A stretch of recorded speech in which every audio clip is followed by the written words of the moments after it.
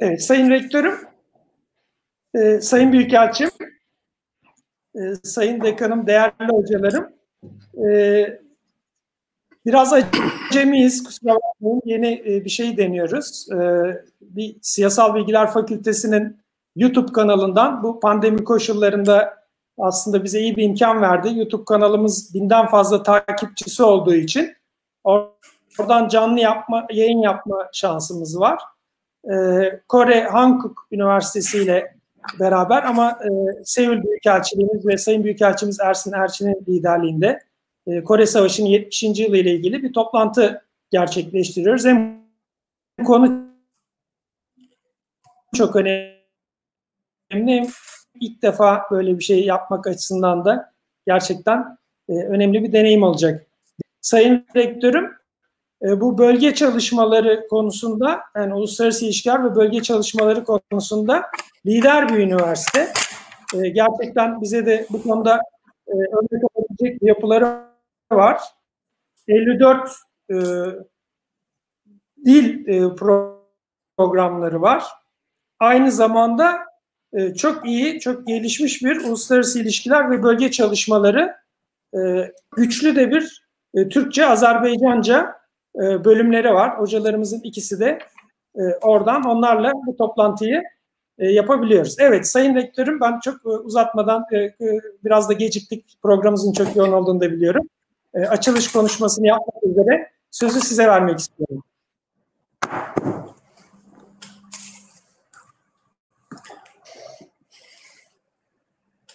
Çok değerli Büyükelçim, değerli katılımcılar hepinizi saygıyla, muhabbetle selamlıyorum.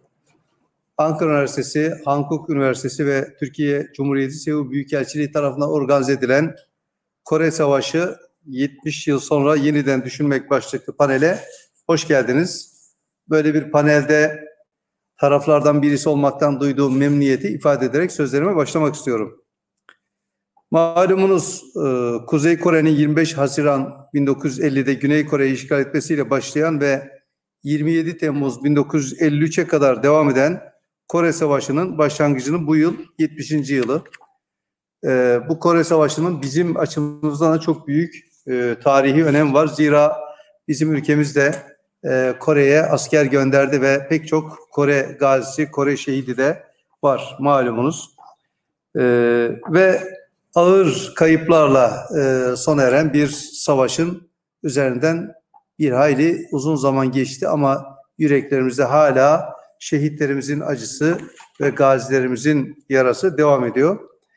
Kore Savaşı patlak verdiğinde dünyanın henüz ikinci Dünya Savaşı'nın yaralarını sarmaya devam ettiği yıllar olması dolayısıyla bu işgale dur demek için elbette Birleşmiş Milletler hemen devreye girdi. Güvenlik Konseyi'nin onayıyla bölgeye güç sevkiyatı gerçekleşti ve böylece Birleşmiş Milletler'in kurucu unsurlarından olan Türkiye, Birleşmiş Milletler tarafın safında savaşa dahil oldu. Elbette bu katılış sadece resmi bir savaş ilanından ibaret değildi. Türk milletinin kahraman ordusu fiilen de katıldığı bu savaşta çok büyük başarılara imza attı. Ve hala e, özellikle Güney Kore'de Türk askerinin kahramanlığı hep hayırla yad ediliyor. Ben bunu çok yakından biliyorum.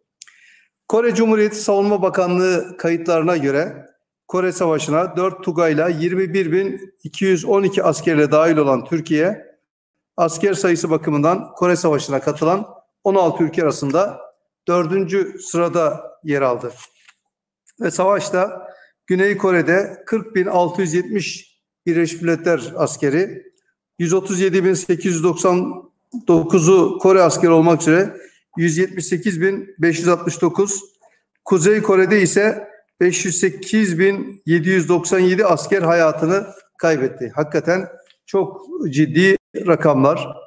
Ve yine Kore Gazi Bakanlığı'nın kayıtlarına göre Türkiye Kore Savaşı'nda cephede ve cephe gerisinde 900'ü aşkın şehit vermiştir. Bu rakamlarla ilgili farklı e, kayıtlar olsa da e, Kore Gazi Bakanlığı'nın kayıtlarına göre 900'ü aşkın e, şehit vermiştir. Türk ordusu bildiğiniz gibi değerli katılımcılar milattan önce 209 yılında kurulmuş ve kurulduğu günden bu yana 2229 yıldır hep kahramanlık destanları yazmıştır. Nitekim Kore Savaşı da Türk ordusunun kahramanlık e, destanı yazdığı bir başka savaş olmuştur. Bu nedenle Kore'deki Türk Tugayı'na Kutup Yıldızı adı da verilmiştir. Türk milleti aynı zamanda ecdadımızdan gelen geleneklerimizle yaşattığımız bir özelliğe daha sahiptir. Sevgi ve şefkat. Kore Savaşı'na katılan birlikler arasında Türk askeri savaşta öksüz ve yetim kalan Koreli çocuklar için okul inşa eden tek birlik olarak tarihe geçmiş ve o tarihlerde açılan Ankara Okulu'nu ve Türk askerinin fedakarlıklarını unutmayan Kore halkı Türk halkını kan kardeşi olarak nitelendirmeye başlamıştır. Yine geçtiğimiz yıllarda Türkiye-Kore ortak yapımı bir film e, vizyonlara girdi biliyorsunuz. Ayla isimli film hakikaten o Türk askerinin gösterdiği cansiperane mücadelenin yanındaki şefkat ve sevgiyi gösteren çok önemli kayıtlardan birisidir. E, ve nitekim e, o filmde Assubay Süleyman Dil Birliği ile ailesini savaş esnasında kaybeden 5 yaşındaki Enyuya Kim'in sevgi dolu hikayesini anlatmaktadır. Hepimiz bu filmi gözyaşlar içerisinde ve Türk askerinin şefkat ve sevgisini de gösteren bir film olarak e, gözlerimizin önüne seren çok önemli bir kayıttı. E, Süleyman Bey de e, Allah rahmet eylesin o film çekildikten kısa bir zaman sonra hayatını kaybetti. Cenab-ı Hak'tan ona da rahmet diliyorum. Yine tabii dil ile ilgili de Türkler Anadolu'ya gelmeden önce Doğu Asya'da e, Korelilerle komşu milletler olarak yaşıyordu. Ve üstelik Türkçe ile Kore dillerinin aynı kökenden geldiğini ve bazı benzerlikler taşıdığı da pek çok uzmanın dile getirdiği bir gerçektir. Yeri gelmişken şunu ifade etmeliyim ki Ankara Üniversitesi Dil ve Tarih, Dil ve Tarih Coğrafya Fakültemiz Kore Dili ve Edebiyatı ana bilim dalı da Kore dili, Kore edebiyatı, Kore tarihi ve Kore kültürü alanlarında araştırmalar yapan, işbirliği çalışmalarıyla farklı kurum ve kuruluşlarla önemli projeler ortaya koyan ve alanının ilki olan bilim gücümüzdür. Bizim en önemsediğimiz fakültelerimizden birisi Dil Tarih ve Coğrafya Fakültesi, en önemli dil, filoloji alanlarından birisi de Kore dili ve edebiyatıdır. Kıymetli katılımcılar, Kore halkının huzur ve güvenliğini sağlamak ve uluslararası barışın tesis edilmesi için Birleşmiş Milletler safında savaşan kahraman askerlerimizin anısı Güney Kore ile ilelebet, ilelebet sürecek bir dostluğun kurulmasına da zemin teşkil etmiştir. 2012 yılında stratejik ortaklık seviyesine yükselen Türkiye-Güney Kore ilişkileri hem Türkiye Büyük Millet Meclisi'nde hem de Kore Ulusal Meclisi'nde karşılıklı olarak parlamento arası dostluk grupları teşkil edilmesiye taçlanmıştır. Nitekim Cumhurbaşkanımız Sayın Recep Tayyip Erdoğan'ın 1-3 Mayıs 2018 tarihindeki son Kore Cumhuriyeti ziyareti de pek çok açıdan dostluğumuzu pekiştiren bir ziyaret olmuştur. Değerli Büyükelçim, değerli katılımcılar, sözlerimin sonunda şunu ifade etmek isterim. Kore Savaşı bundan tam 70 yıl önce başladı 67 yıl önce de e, yüz binlerce kişinin hayatını yitirmesiyle sona erdi. Savaşlar sona erer ama izleri devam eder. Çünkü her savaştan kayıplar olur. Bizim de gazilerimiz var, şehitlerimiz var ve onları biz hep hayırla yad ediyoruz ve hayırla da yad etmeye devam edeceğiz. 70. yıl vesilesiyle de onlara bir kez daha Cenab-ı Hak'tan rahmet e, diliyorum. Yaşayan gazilerimiz az da olsa var ve onlara da hayırlı uzun ömür diliyorum. Bu vesileyle Kore Savaşı'nda şehit olan ve Kore'nin Busan kentinde bulunan Birleşmiş Milletler Kore Anıtsal Mezarlığı'nda yatmakta olan 462 kahraman askerimiz ile Kore Harbi'ne katılan, şehit ve gazi olan tüm kahraman Mehmetçiğimizi biz buradan hayırla yad ediyoruz ama Kore'de de unutulmadığını biliyoruz. Onlar çünkü Kore Yarımadası'nda kalıcı bir barışın tesis için çok gayret sarf ettiler. Umuyoruz ki geçen zaman geleceğe dönük önemli sonuçlar sağlanmasında da yeni bir başlangıca vesile olur. Üniversitemiz Hankook Üniversitesi ve Türkiye Cumhuriyeti Seul Büyükelçiliği tarafından düzenlenen Kore Savaşı 70 yıl sonra yeniden düşünmek başlıklı panelde bu bağlamda önemli değerlendirmelerin olacağı bilimsel bir çalışma olacaktır.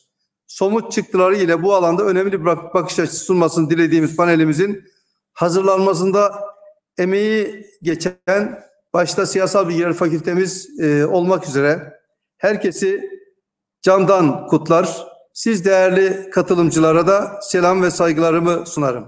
Türkiye Cumhuriyeti ve Türk milleti olarak köklerini tarihimizden alan dostluğumuzun ve kardeşliğimizin ilelebet devam edeceğine olan inançla çalışmalarınızda başarılar diliyor. Özellikle Seul'deki Büyükelçimiz nezdinde Büyükelçilik çalışanlarımıza selamlarımı, sevgilerimi ve saygılarımı sunuyorum. Sağ olun. Ee, Sayın Rektörüm çok teşekkür ederiz. Ee, şimdi e, açılış konuşmalarının ikincisini ama belki biraz daha e, bir sunuş e, şeklinde de, e, de detaylandırarak konuşmasını yapmak üzere e, Sayın Büyükelçimize söz vermek istiyorum. Bu arada Sayın Büyükelçimiz de mülkiyeli bir abimiz. E, dolayısıyla e, ona e, yapmak e, ayrıca bir onu Sayın Büyükelçim kitabımız geldi mi? 160. yıl kitabımız. Ee, Ulaştı 1980 mezunuyum. E, ee, okuluyla birlikte e, bir akademik faaliyette. Sayın Büyükelçim. Ne güzel. Buyurun. Evet, Sayın Büyükelçim olmadan bu toplantıyı da yapmamız mümkün değildi Sayın Rektörüm. E, ben e, sözü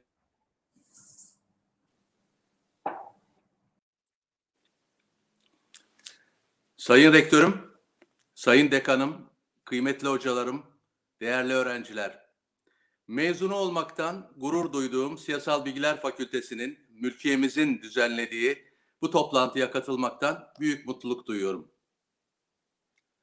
Dışişlerinde Asya Pasifik Genel Müdürü olarak görev yaptığım, 2013 sonundan itibaren yakından izlediğim ve 3 yıldan bu yana fiilen çalıştığım Kore'deki Türkiye'nin de kaderini yakından etkileyen savaşa 70 yıl sonra yeniden bakıp nedenlerini ve hala devam eden etkilerini bazı az bilinen tarihi ayrıntılara da ışık tutarak irdelemenin sadece Kore, Kore Yarımadası'nı değil bölgesel küres ve küresel barışı çevreleyen koşulları anlamak açısından da önem taşıdığını düşünüyorum.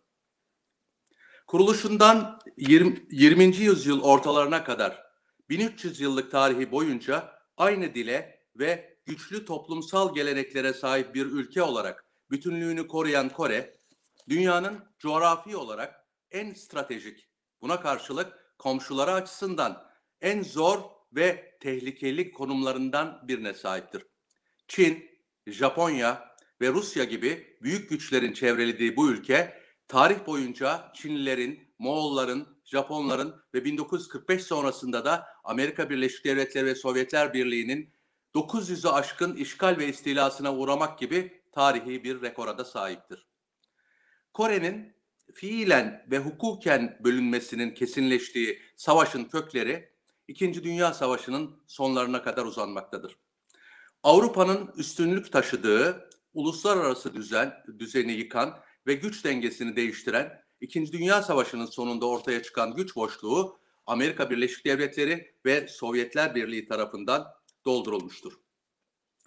ABD'nin yükselen yeni süper güç olarak belir, belirlediği komünizmin dünya çapında yayılmasını önleme misyonuna karşılık Sovyetler Birliği'nin başta Doğu Avrupa ülkeleri olmak üzere askeri ve ideolojik yayılmacılığını hızlandırması 1949'da Mao önderliğinde Çin'de gerçekleştirilen sosyalist devrim Soğuk Savaş döneminin de başlangıcını oluşturmuştur. İdeolojik kutuplaşmanın ilk somut yansıması Kore Yarımadası'nda ortaya çıkmıştır. İkinci Dünya Savaşı'nın son günlerinde Japonya'ya savaş ilan eden Sovyetler Birliği askerlerini hızla Kuzey Kore'ye ve Mançurya'ya sevk etmiştir. Bu sırada Japonya'nın teslim koşullarını tespit etmeye ve Asya'da ortaya çıkan yeni durumu anlamaya çalışan Washington, esasen o dönemde fazla önem vermediği Kore Yarımadası'nda ortaya çıkan Sovyet işgali üzerine harekete geçmiştir. Sonradan Başkan Kennedy'nin de Dışişleri Bakanı olarak atanan Dean Rusk ve Savaş Bakanlığı'nda görevli Charles Monestil adlı iki genç subayı çok acilen Kore'deki Amerikan işgal hattını belirlemekle görevlendirmiştir. Bu kişilerin 1942 tarihli eski bir National Geographic dergisinde yer alan harita üzerinden 10 Ağustos 1945 gecesi tamamen keyfi olarak tespit ettiği 38. paralel Amerika yönetimince hiçbir Koreli yetkiliye danışılmadan kabul edilmiş ve iki Kore arasında bugün hala geçerli olan işgal sınırını oluşturmuştur. Sovyetlerin de fiilen kabul ettiği 38. paralel Soğuk Savaş ilerledikçe iki tümüyle karşıt rejimin ateşkes hattını da teşkil etmiştir. Amerika Birleşik Devletleri, Britanya ve Çin'in 1943'teki Kahire Deklarasyonu'yla zamanı geldiğinde Kore'nin özgür ve bağımsız bir devlet olacağını ilan etmelerine rağmen 1945'teki Yalta Konferansı'nda ABD Başkanı Roosevelt Kore'nin Amerika, Çin ve Sovyetler Birliği'nin manda yönetimi altına bırakılmasını önermiş ancak bu öneri kabul görmemiştir. Esasen Kore'nin bölünmesi fikri İkinci Dünya Savaşı sırasında toplanan Kahire, Yalta ve Potsdam konferanslarının hiçbirinde gündeme gelmemiş olup Amerika Birleşik Devletleri'nin Sovyetlerin yarımadanın tümünü işgal etmelerini önleme gerekçesiyle apar topar aldığı bu karar o dönemdeki Koreli milliyetçilerce Amerika Birleşik Devletleri'nin ihaneti olarak değerlendirilmiştir. İşgal ettikleri alanlarda askeri ve siyasi konumlarını güçlendirerek birliklerini büyük ölçüde geri çeken ABD ve Sovyetler Birliği nüfuz alanlarında kendi kontrolleri altında birer devlet kurdurmuşlardır. ABD güneyde 15 Ağustos 1948'de Kore Cumhuriyeti'ni, Sovyetler ise kuzeyde Kore Demokratik Halk Cumhuriyeti'ni kurdurmuştur. Aynı ırktan ve kültürden gelen Korelilerin ülkelerinin geleceğine ilişkin duygu ve düşünceleriyle talepleri dikkate alınmadan işgalci güçlerin kendi çıkarları çerçevesinde gerçekleştirilen bölünme bu şekilde resmileştirilmiştir. İki kutuplu dünyanın yarattığı soğuk savaş sadece Korelilerin kaderini radikal bir şekilde değiştirmekle kalmamış, o dönemde Doğu Asya'nın iç dinamikleri de ciddi olarak kayma göstermiştir. Milliyetçi ve komünist partilerin önderliğindeki iki Çin arasında başlayan ilk savaş, iç savaşın sonucu olarak Çin Halk Cumhuriyeti'nin kurulmuş e, Milliyetçi Çin Formosa Adası'na çekilmiş, ABD tarafından desteklenen bütün antikomünist faaliyetlerde Japonya eksen rolünü kazanmıştır. ABD, Güney Kore'de halkın kendi geleceğini belirleme ve kendi hükümetini kurma arzusunu göz ardı ederek Amerikan üniversitelerinde eğitim görmüş 70 yaşındaki antikomünist Syngman Rhee'yi iş başına getirerek ülkede kendi vesayetini tesis etmiştir. Sovyetler Birliği ise kuzeyde kurdurduğu komünist rejimin başına Çin'de Japon işgaline karşı savaşan, İkinci Dünya Savaşı'nın sonunda Sovyet ordusunun Mançurya'da komuta ettiği askeri kamplarda eğitim gören 33 yaşında genç bir Koreli gerilla komutanı olan Kim Il-sung'u oturtmuştur. Bazı kaynaklarda iddia edildiğinin aksine Sovyet arşivlerinde yer alan belgeler Kore Savaşı'nın başlatılmasının ardında Sovyet liderliğinin değil Kore halkının kendisinden güneydeki ABD emperyalizmiyle savaşarak Yarımada'yı komünist yönetim altında birleştirmesini beklediğine kuvvetle inanan Kim Il-sung'un ısrarlı girişimlerinin bulunduğunu göstermektedir. Kim 1949'un Mart, Ağustos ve Eylül aylarında üç defa Sovyet lideri Stalin'i ziyaret ederek Güney Kore'nin işgaline izin, izin vermesi için adeta yalvarmıştır. Adı geçenin ısrarlı taleplerini reddeden Stalin, nihayet 1950 Ocak ayında aynı konuda kendisiyle görüşen kimin isteğini uluslararası durumun değiştiği gerekçesiyle ve Çin lideri Mao'nun da onayının alınması koşuluyla kabul etmiş, Güney'e karşı savaş planını onaylamıştır. Tarihçilere göre Stalin'i bu karar değişikliğine sevk eden nedenler, Çin'deki sosyalist devrimin başarısı ve ABD'nin bölgede askeri üs kurmak için Güney Kore'yi değil Filipinleri seçeceğinin duyulması dolayısıyla Amerikan liderliğinin Güney Kore'ye önem vermediği yönünde oluşan algıdır. Kuzey Kore tarafından 25 Haziran 1950 sabahı sabah 04'te fırtına kod adıyla 200 bin asker, 200 uçak, 242 tankla 38. paraleli geçerek başlatılan Çin ve Sovyet destekli savaş işte bu tarihi ve siyasi arka plan çerçevesinde kararlaştırılmıştır. Kısa sürede askeri açıdan zayıf Güney Kore'nin içlerine kadar uzanan komünist istilanın durdurulması için ABD'nin aktif çabasıyla acilen toplanan Birleşmiş Milletler Güvenlik Konseyi'nin Çin'in tanınmamasını protesto eden Sovyetler Birliği temsilcisinin toplantıya katılmamasından istifade ederek aldığı bütün ülkeleri ABD öncülüğünde kurulacak Birleşmiş Milletler gücüne katkıda bulunmaya çağıran karar çerçevesinde Türkiye dahil 16 ülke asker, silah ve malzeme sevk etmiş. 5 ülkede sağlık pe- personeli ve tıbbi malzeme göndermiştir. Yeni kurulan Birleşmiş Milletler'in ilk deniz aşırı askeri komutasını oluşturduğu kanlı savaş bütün yarımadaya yayılarak 3 yıl devam etmiştir. 27 Temmuz 1953'te Birleşmiş Milletler'in ABD'li komutanı ile Kuzey Kore ve Çin gönüllü ordularının komutanları arasında imzalanan ateşkes anlaşması ile fiilen sona erdirilen Kore Savaşı geride her iki taraftan toplam 3 milyon ceset ve yaralı 5 milyon mülteci ile neredeyse tamamen tahrip edilerek fakirleşmiş iki ülke bırakarak başladığı yerde yani 38. paralelde son bulmuştur.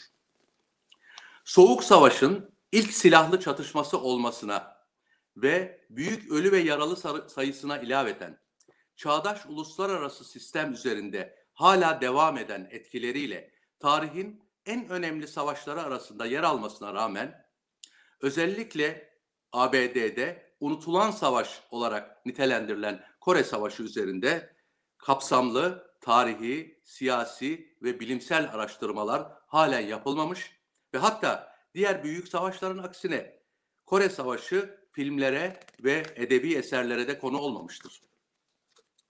Kore Savaşı ayrıca İkinci Dünya Savaşı'nı bitiren atom bombası ile nükleer çağın başladığı iki kutuplu dünya düzeninde süper güçler arasındaki ilk vesayet savaşını oluşturmuştur.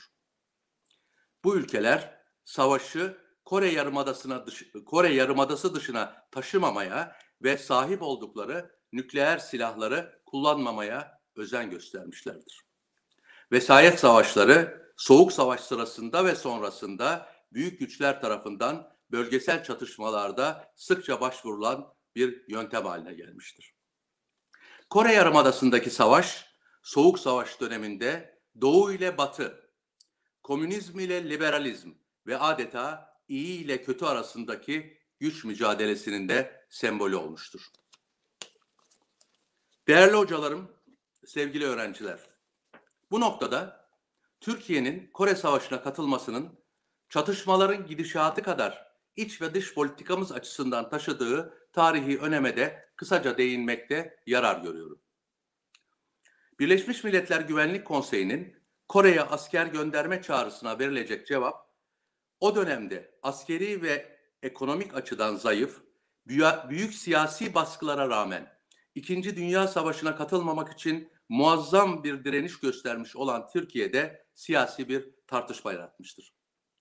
Nispeten içine kapalı ve başka ülkelerin çatışmalarına müdahale etmeme ilkesini benimsemiş olan ülkemiz, diğer yandan da gerek Sovyetler Birliği'nin yayılma tehdidine karşı, gerekse siyasi ve ekonomik ve de askeri açıdan güvence sağlayabileceği Batı ittifakına katılmakla ilgili arayışlarını da sürdürmekteydi.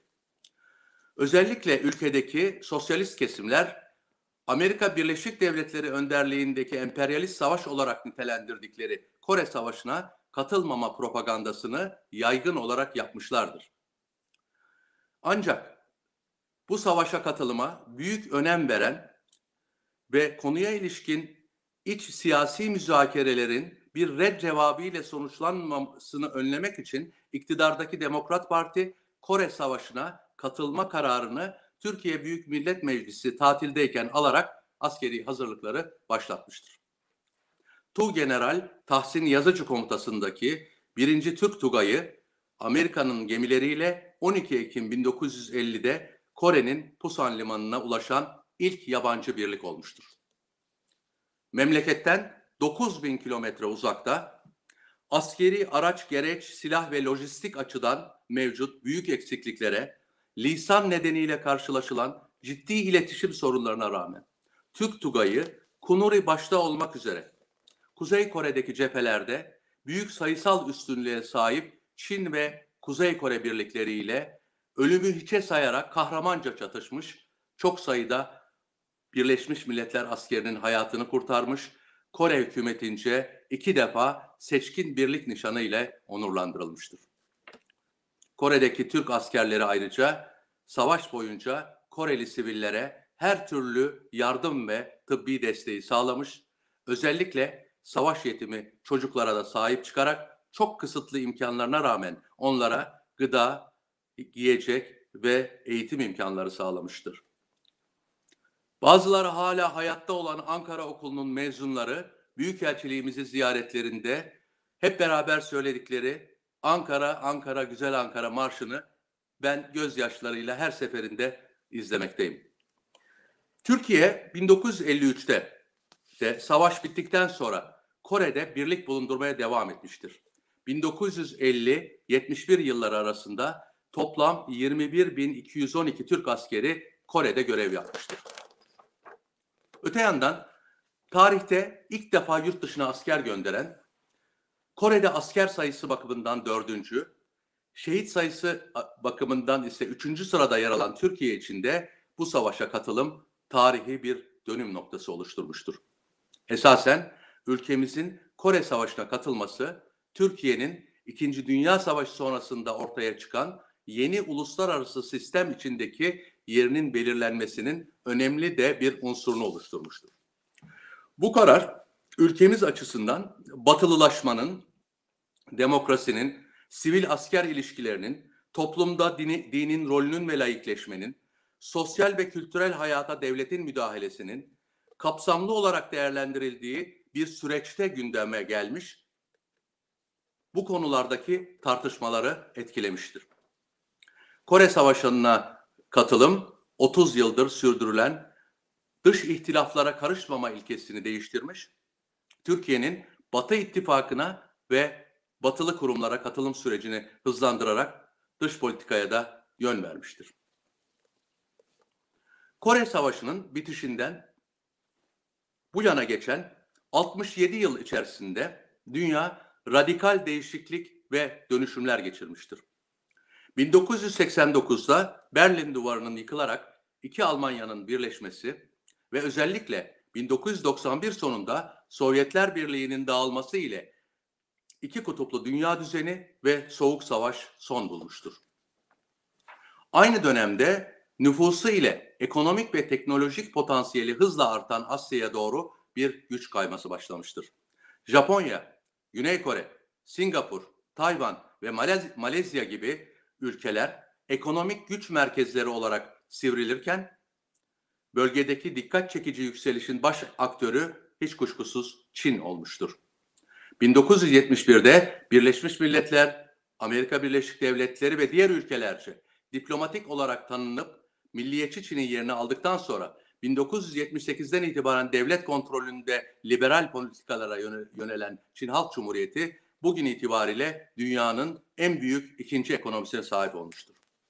Amerika Birleşik Devletleri'ne karşı tarihi rakibi Rusya ile de taktik bir işbirliği içinde bölge üzerindeki etki ve nüfuzunu artıran, dev ordusunu modernize ederek güçlendiren, kuşak ve yol girişimiyle İpek yolu güzergahındaki 65 ülkeyle altyapı ağırlıklı ekonomik bağımlılık yaratmayı amaçlayan Çin, küresel liderlik rolü giderek azalan Amerika Birleşik Devletleri'nin yerini almaya adaydır.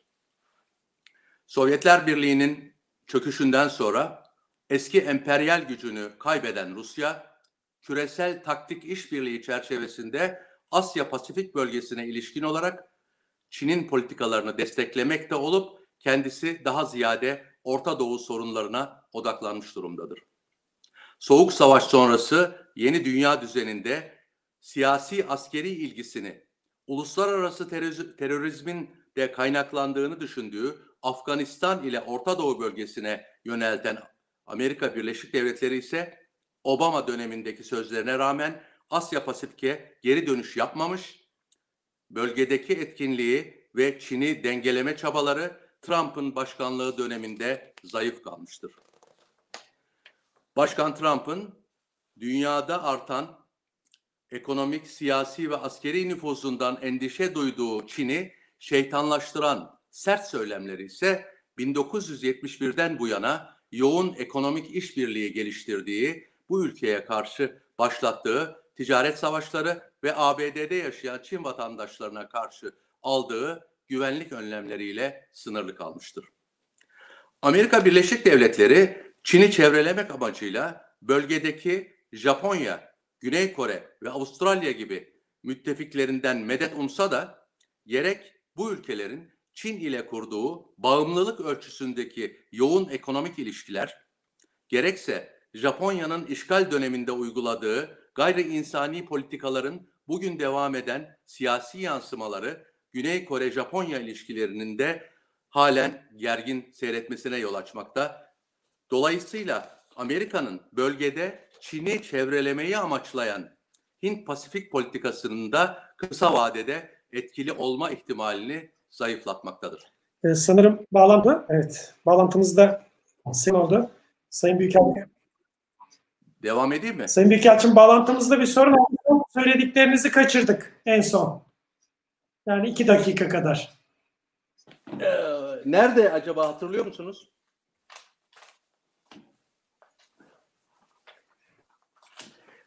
Nerede kopukluk son olduğunu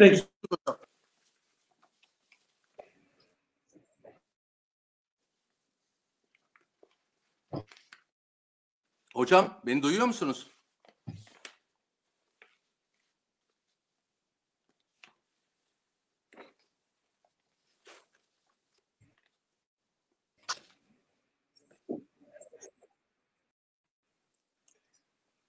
Ee, Hocam beni duyuyor musunuz? Maalesef koptu galiba. Neyse. Ya şimdi duyuyoruz. Evet. Biraz tecrübesiziz onun için hani denemeye çalışıyoruz. Hocam Ama yani koptu? sadece son belki bir dakika kadar. Evet. Kopukluk yok mu? Ha, pardon ben de kopmuş Sayın Büyükelçim. Genelde duyulmuş. Özür dilerim. Tamam. Sorry. Devam edeyim mi? Kaldığım yerden devam edeyim. Tabii buyurun. Kusura bakmayın böldüm. Buyurun. Tabii lütfen. Buyurun lütfen. Bu bölgesel ve küresel gelişmeler meydana gelirken 1953'ten günümüze kadar üç kapsamlı barış girişiminin de başarısızlıkla sonuçlandığı Kore krizi bir soğuk savaş kalıntısı olarak hala devam etmektedir. Güney Kore 1953'teki ateşkes anlaşmasını imzalamayı reddettiği için teknik olarak hala devam eden Kore Savaşı'nı çıkartan Kuzey Kore'nin 1990'lardan itibaren nükleer teknolojisini geliştirmesi ve 2017 sonunda gerçekleştirdiği nükleer ve balistik füze denemeleri sonunda artık bir nükleer güç olduğunu, ABD ana kar- karasını vurabilecek kapasiteye ulaştığını açıklaması meselenin çözümünü çok daha zorlaştırdığı gibi Kore krizini dünya barış ve güvenliği açısından da vahim bir tehdit haline getirmiştir. 2018 başında Kuzey Kore lideri Kim Jong-un'un önerisi, Cumhurbaşkanı Moon Jae-in'in desteği ve Amerika Birleşik Devletleri Başkanı Trump'ın onayı ile başlatılan 3. barış girişiminin liderler arası düzenlenen zirvelere ve yayınlanan deklarasyonlara rağmen sonuçsuz kalması da nükleer silahlardan arınma ile Yarımada'da barış rejiminin kurulmasının zamanlaması ve önde gelme sırası hususunda ABD ile Kuzey Kore arasında çıkan deriş derin görüş ayrılıklarından kaynaklanmıştır. Bu süreçte Koreler arasında ortaya çıkan siyasi askeri yumuşama ve ekonomik işbirliği atmosferi de nükleersizleştirme konusundaki anlaşmazlık nedeniyle yerini yeniden gerginliğe bırakmıştır. Bu yılın Ocak ayında ortaya çıkan pandemi ve 3 Kasım'da düzenlenen Amerika başkanlık seçimlerinin yarattığı belirsizlik ise Kuzey Kore sorunsalının çözümünde 2020 yılında herhangi bir gelişme olmasını engellemiştir. Sonuç olarak Kore Savaşı 70. yıl dönümüne barış umutları açısından çok zayıf girmiştir. Kuzey Kore'yi Amerika Birleşik Devletleri karşısında eşit bir müzakere ortağı olarak kabul ettirebilmek amacıyla Birleşmiş Milletler Güvenlik Konseyi'nin yaptırımları altında iyice zayıflayan ekonomisinin kıt kaynaklarını nükleer ve balistik füze programını geliştirmek için kullanan Kim Jong-un için en büyük öncelik dedesi ve babasından devraldığı otokratik rejimin bekasıdır. Libya'da Kaddafi'nin ve Irak'ta Saddam Hüseyin'in başına gelenlerden ders çıkaran Kim, İran ile yapılan nükleer anlaşmadan da bilahare çekilen Amerika Birleşik Devletleri'ne kesinlikle güvenmemekte ve Amerika'nın önce nükleersizleştirme sonra barış ısrarını reddetmektedir. Kuzey Kore'nin baş destekçileri olan Çin ve Rusya Pyongyang rejiminin devamını kesin olarak desteklemektedir. Kuzey'in 2017 sonunda artırdığı nükleer ve balistik füze denemelerine karşı Birleşmiş Milletler Güvenlik Konseyi kararlarını destekleyen bu ülkeler barış müzakerelerinde Pyongyang'a uzlaşma baskısı yapmakta özenle kaçınmışlardır.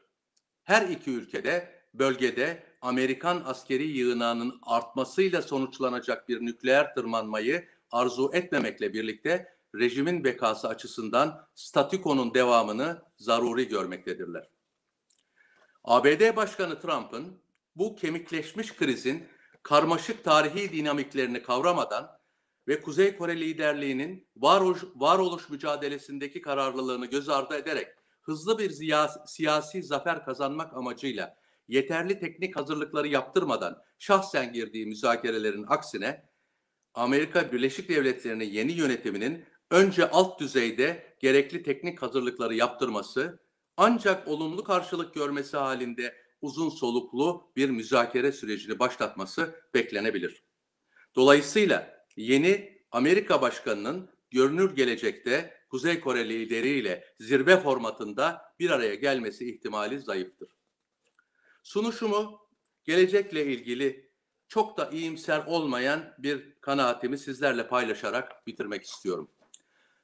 Savaşın başında olduğu gibi Kore Yarımadası bugün de süper devletlerin Asya Pasifik'teki güç rekabetinin ve nüfuz arayışlarının bir unsuru olmaya devam ettikçe Kuzey Kore krizinin sona ermesi de Yarımada'da bir barış rejiminin kurulması da Korelerin birleşmesi ideali de sürekli olarak ertelenecektir.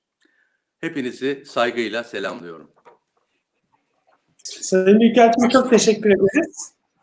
Ee, son derece ayrıntılı e, gerçekten bir e, açılış konuşması oldu. Bizim panelimize de ışık tutan çok önemli hem analizler hem verilerle dolu bir konuşma oldu. Çok teşekkür ediyoruz. Ee, şimdi e, sözü Sayın Dekanımız Profesör Doktor Orhan Çelik'e vermek istiyorum. Buyurun abi. Sayın Rektörüm, değerli rektör, değerli Büyükelçim, sayın katılımcılar, e, Kore Savaşı'nın 70. yılının tartışılacağı bu toplantıya e, fakültem adına e, selamlayarak sözlerime başlamak istiyorum. E, Türkiye siyasal hayatının önemli bir aşaması olarak kabul edilen e, Kore Savaşı'nın 70. yılının üniversitemizin de içinde bulunduğu bir topluluk tarafından tartışılıyor olması e, beni son derece mutlu etmiştir. E, bu toplantının çok başarılı geçeceğine inancımla hepinizi saygıyla selamlıyorum. Çok teşekkürler Sayın Dekanım. Ee, şimdi sözü bölüm başkanımız Profesör Doktor Funda Keskin Atay'a vermek istiyorum. Teşekkür ederim e, Çınar Hocam. Ee, sayın Rektörüm, Sayın Büyükelçim, Sayın Dekanım, e, değerli konuşmacılar ve katılımcılar, e, öncelikle e, hoş geldiniz e, demek istiyorum. Sanal da olsa ev sahibi olmaktan mutluluk e, duyduğumu belirtmek istiyorum. E, bu tabii bir açılış konuşması e, niteliğinde olduğu için e, benim konuşmam e, Sayın e, Büyükelçimin e, oldukça kapsamlı bir biçimde e, konuya giriş yapmasından sonra e, çok uzun konuşmadan e, sadece e, belki benim açımdan önemli olan birkaç noktayı söyleyerek e, hemen sözü panelistlere bırakmak istiyorum. E, şimdi Kore Savaşı elbette e, uluslararası ilişkiler ve dünya siyaseti açısından çok önemli bir olay. E, Birleşmiş Milletler'in e, 1950'de daha kuruluşundan çok kısa bir süre sonra e, Güvenlik Konseyi tarafından karar verilen e, ve uygulanan e, ayrıca Birleşmiş Milletler bayrağı taşıyan tek zorlama operasyonu. Bu yönüyle de benim e, uluslararası hukuk e, çalışan bir öğretim üyesi olarak ve e, uluslararası e, hukukta kuvvet kullanma çalışan bir öğretim üyesi olarak ilgilendiğim e, bir savaş. E, dolayısıyla e, kendi e, akademik e, çalışmalarım açısından da e, önemli olan e, bir e, savaş e, oluşturuyor, bir müdahale oluşturuyor Kore Savaşı. E, ama ben burada hani e, bu kadarını söyleyip e, konuyla ilgili daha detaylı tartışmaları panelistlere bırakmak isterim. E, belki şunu söylemem gerekir. E, bu e, 1950'de e, başlayan e, müdahale aynı zamanda genç Türkiye Cumhuriyeti'nin 15 bin gencinin e, katıldığı e, bir silahlı çatışma. E, Sayın Rektörüm bunu e, rakamları e, açılış konuşmasında belirtti.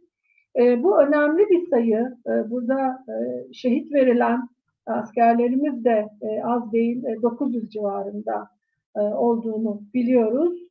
E, ama aynı zamanda dönenlerin e, Türkiye'ye, Kore'ye dair getirdiği e, önemli bir toplumsal e, hafıza e, var. E, çünkü e, giderlerken Kore'nin nerede olduğunu dahi bilmeden gittiler e, çok büyük bir kısmı. Ama dönüşlerinde hem e, Kore'ye, ülkeye dair ve Kore halkına dair birçok anekdotla, bilgiyle ve kendi dünya görüşleri, anlayışları da genişleyerek döndüler. Ve, arkasından gelen dönemde bu Kore Savaşı'na katılan ve geri dönenlerin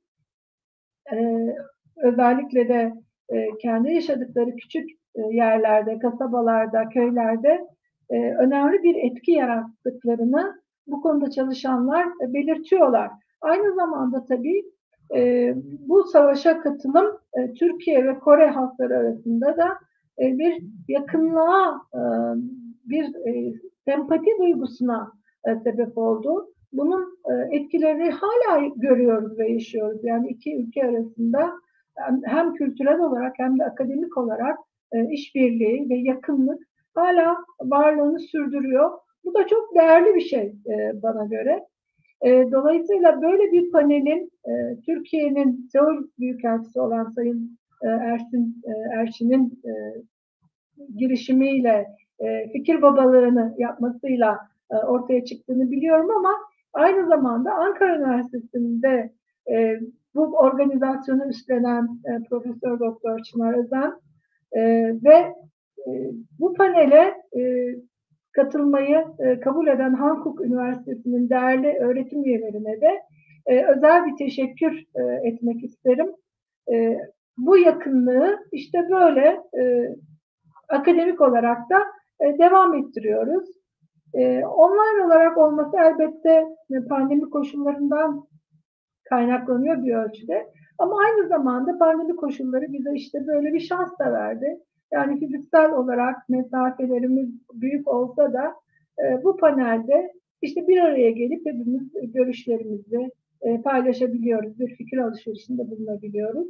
E, ama online geçirilen zaman e, yüz yüze geçirilen zamandan çok daha e, fazla e, sayılıyormuş. E, öyle bir araştırma okudum yakın zamanlarda. Yani e, online'da bir saat harcıyorsak bunu böyle yüz yüze olan da bir buçuk hatta iki saate yakın saymak lazım gibi. E, o yüzden de lafı daha fazla uzatmadan e, panelistlere bırakmak istiyorum. Hepinize çok teşekkür ediyorum katılımınız için e, ve e, organizasyonu gerçekleştiren e, bütün e, emeği geçenlere de teşekkürlerimi sunarım. Buyurun Çınar Hocam. E, çok teşekkür ederiz Funda, Funda Hocam. Çok sağ olun. E, şimdi panelimize geçebiliriz. E, panelimizde e, izninizle ben e, ilk e, e, açılış toparlayıcı bir konuşma yapmak istiyorum. Orada biraz bu Kore Savaşı'nı o dönemde Türkiye'nin iç siyasi dengeleriyle de ve dış politikasıyla etkileşimiyle de ilişkilendirerek bilgi vermek istiyorum. E, tabii e, Kore Savaşı e, gerçekten e, Türk-Kore ilişkilerinde bugüne yansımalarıyla e, bir, bir tür milat oldu. Yani Kore Savaşı'nın belki en önemli etkisi yani bu anlamda Türkiye ile Güney Kore arasında çok sağlam, çok kalıcı bir kan bağı kurdu. Yani bir tür kardeşlik tesis etti. Ve bugün onun çok önemli sonuçlarını hep birlikte gözlemliyoruz. Yani mesela ona verilebilecek bir örnek Türkiye Güney Kore ile bir serbest ticaret anlaşması yaptı ve bu 2013 yılında yürürlüğe girdi. Mesela Japonya yapmıyor. Yani Avrupa Birliği ile normalde serbest ticaret anlaşması yapan ülkelerin Türkiye ile serbest ticaret anlaşması yapması beklenir. E, Güney Kore yani en ufak bu konuda bir gecikme göstermeden e, Türkiye ile yani çok da kapsamlı bir serbest ticaret anlaşması yaptı. Hatta benim e, şu anda e, Güney Kore'de e, e, Ekonomi Bakanlığı'nda görevli Dong Ucho e, burada kültür ateşimizdi. Benim öğrencim onunla ilgili bir tez de yazdı. E, veya e, Türkiye'nin savunma sanayinde çok stratejik konularda e, Güney Kore'nin Türkiye'ye çok ciddi katkılar sağladığını görüyoruz. Yani dolayısıyla yani bir kere savaşın bugüne yansıyan en önemli sonucu Türkiye-Güney Kore ilişkilerini herhangi iki devlet ilişkisi olmaktan çıkardı ve çok önemli dediğim gibi bir kan bağıyla birbirine bağlı iki toplum haline getirdi. Tabii bir parça bunu Kore'de e, ve Türkiye'de daha iyi anlatmamız lazım. Hani Türk e, toplumda e, sanki bunun e, bilinirlik derecesi e, tahmin ediyorum Güney Kore'de de giderek kayboluyor. Gençler bir parça bunu o kadar iyi bilmiyorlar. Bu toplantılar belki e, bu bakımdan da önemli. Tabii e, Güney Kore ile ilgili Türkiye'de e, gençler özellikle başka yönleriyle diziler, müziklerle Güney Kore'yi, Güney Kore'nin e, kültürünü yakından takip ediyorlar. Ama yani bu savaşın e, yani savaşlar e, çoğu zaman böyle kurucu etkiler yapmıyor. Bu kurucu etkisini iki toplumun hafızalarında e, taşımasında fayda var. E, ama bu döneme baktığımız zaman hani Kore Savaşı açıkçası e, Kore ile ilgili değildi Türkiye açısından. Yani o zaman e, Türk halkı da Kore'nin nerede olduğunu bile bilmiyordu. Ve Türkiye'de dış politikayı yapanlar açısından da yani savaşın veya Kore'nin veya Kore'de savaşanların da fazlaca bir önemi yoktu veya hani o meseleler üzerinden Türkiye bu kararları vermedi. Yani mesele tamamen soğuk savaş dengeleriyle ilgiliydi ve Türkiye'nin NATO'ya üye olmasıyla ilgiliydi. Tabii Kore Savaşı dolayısıyla aslında Türkiye'nin Kore Savaşı'na katılması bu açıdan çok daha fazla yani o dönem itibariyle söylüyorum. Türkiye'nin işte Kore ile olan ilişkilerinden veya Kore Savaşı'na bakışından çok daha fazla Türkiye'nin Sovyet Rusya ile olan ilişkisiyle ilgili bir meseleydi. Yani bugüne yansımalarını değerlendirirken biraz Buna da bakmak lazım. E, Türkiye 1919 yılında e, yani Bolşevik devrimin hemen sonrasında ortaya çıkan bu işte Rusya'daki e, Bolşevik rejimle ve Sovyet e, Rusyası'yla iyi ilişkiler kurdu ve bunu 1925 yılında e, bir anlaşmayla e, dostluk e, e, tarafsız saldırmazlık anlaşmasıyla taçlandırdı. Çok önemli bir anlaşma bu 1925 anlaşması. Yani ve 45'e kadar bu anlaşma e, Türkiye tarafından aslında gözetildi. Yani Türkiye hem Kurtuluş Savaşı sırasında Sovyetler Birliği ile çok ilişkili, iyi ilişkiler kurdu. Aslına bakarsanız İkinci Dünya Savaşı sırasında da mümkün olduğunca bu ilişkileri gözetmeye çalıştı. Yani Rusya ve devamında tabii ki e, Sovyetler e, Türkiye için çok önemli bir komşu. E, Ve o dönem yani bu bahsettiğimiz dönem Türkiye Milletler Cemiyeti sisteminin içinde yok. Yani dolayısıyla ve İngiliz Musul meselesinden dolayı belki de e, İngiltere ile hasmane ilişkiler içinde. Yani Türkiye'nin bir tür ötekisi hala tırnak içinde Batı ve Sovyetlerle de görece iyi ilişkileri var. 45'te maalesef e, ciddi hatalar var. Ya bu hataların yani ben kendi adıma e, en büyük e, payını Stalin'e e, çıkarmak istiyorum. Yani biraz Yalta'da Amerika Birleşik Devletleri'nin de açmasıyla Stalin Boğazlar meselesini tekrar gündeme getirip yani Türkiye ile işte 25'te e, oluşmuş olan o sağlam zemini e, bozdu. Yani Türkiye'nin de mutlaka eksiklikleri var. Savaş sırasında e, tarafsız kalmaya çalışırken e, Sovyetlerle olan ilişkilerinde bazı şeyleri göz ardı etmiş olabilir ama genel olarak anlaşmaya bağlı kaldığını söyleyebiliriz. Ve 45'te Stalin'in hemen Yalta sonrasında dile getirdiği talepler en önemlisi, en kritik olanları tabii ki hani boğazları tekrar gündeme taşıması ve e, toprak talepleri Doğu Anadolu'dan. E, bunlar e, doğal olarak yani Türkiye'de e, tarih boyunca Rusya'dan kaynaklanan o kolektif hafızadaki e, endişeyi e, canlandırdı veya iyice arttırdı. E, ve Türkiye'nin yani 45 sonrasında e, batıda oluşan yeni e, ittifak sistemlerine dahil olma e, stratejisini ön plana çıkardı. E, işte Türkiye'yi e, 45'ten Kore Savaşı'na kadar esas olarak Batı'nın tüm kurumların içinde yer almaya iten temel dürtü biraz da bu. Yani o 25-45 arasındaki dengenin tamamen ortadan kalktığını görüyoruz. Tabii yazık oldu. Yani bence yazık oldu. Yani 1925 anlaşması kıymetli bir anlaşmaydı. Keşke korunabilseydi. Sovyetlerle ilişkiler Soğuk Savaş sırasında olduğu gibi bu kadar büyük bir savrulmaya keşke yol açmasaydı. Tabii Türkiye'nin fakat işte 49'da NATO kuruldu.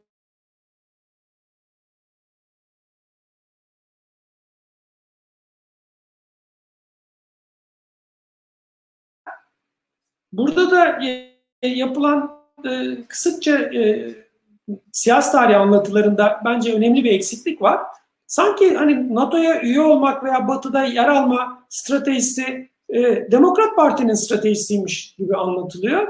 E, bunda da ciddi bir eksiklik var. Çünkü bu bir, bir tür devlet politikasıydı. Ve ilk başvuru yapan Cumhuriyet Halk Partisi. Yani sonuçta 11 Mayıs'ta seçimlerden 3 gün önce e, Cumhuriyet Halk Partisi NATO'ya üyelik için başvurdu. E, Demokrat Parti de bu politikayı devam ettirmiştir. İşte Kore Savaşı bir, bir bakıma Türkiye'nin e, nasıl diyelim e, Batı sisteminin içinde yer alma stratejisine ve NATO'ya üye olma arzusuna çok büyük katkı sağladı. Yani Türkiye e, Kore'ye e, savaşa dahil olurken tabii çok ciddi kayıpları da var. E, esas arkası kafasındaki stratejik fikir ki bu stratejik fikir dediğim gibi yani devletin stratejik fikriydi. Büyük oranda mutabakat vardı burada. NATO'ya üyelikti. E, Amerikalıların da bu dönem Türkiye'yi e, savaşa dahil olmak için NATO üyeliğini de kullanarak teşvik ettiğini söyleyebiliriz. E, dolayısıyla savaş başlar başlamaz, Haziran'da savaş başladı.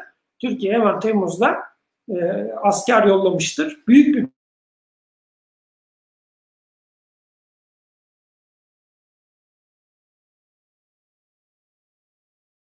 bir de e, hemen Seul'ün kuzeyinde doğrudan hani ve Çin de, de dahil olmuştu. E, Çin'e karşı yani Çin e, Halk Cumhuriyeti'nin e, birliklerine karşı e, Türk Tugay'ı doğrudan çatışmaların içine girmek durumunda kaldı. Yani en ön cephede savaşmıştır. E, ve çok ciddi kayıplar var. Yani 5000 kişilik Tugay'da 1000 kişilik bir kayıp kabaca söyleyebiliriz. Yani 741 şehidimiz var ama kaybolanlar var, esir düşenler var. Tabii e, 2000 aşkın da yaralımız var, gazimiz var. Yani 5000'de 1000 çok büyük bir rakamdır. Hani çok büyük bir fedakarlık yapıldı o zaman. E, bu fedakarlık da esas olarak Sovyet tehdidinden korkulduğu için ve NATO'ya üye olmak için yapıldı.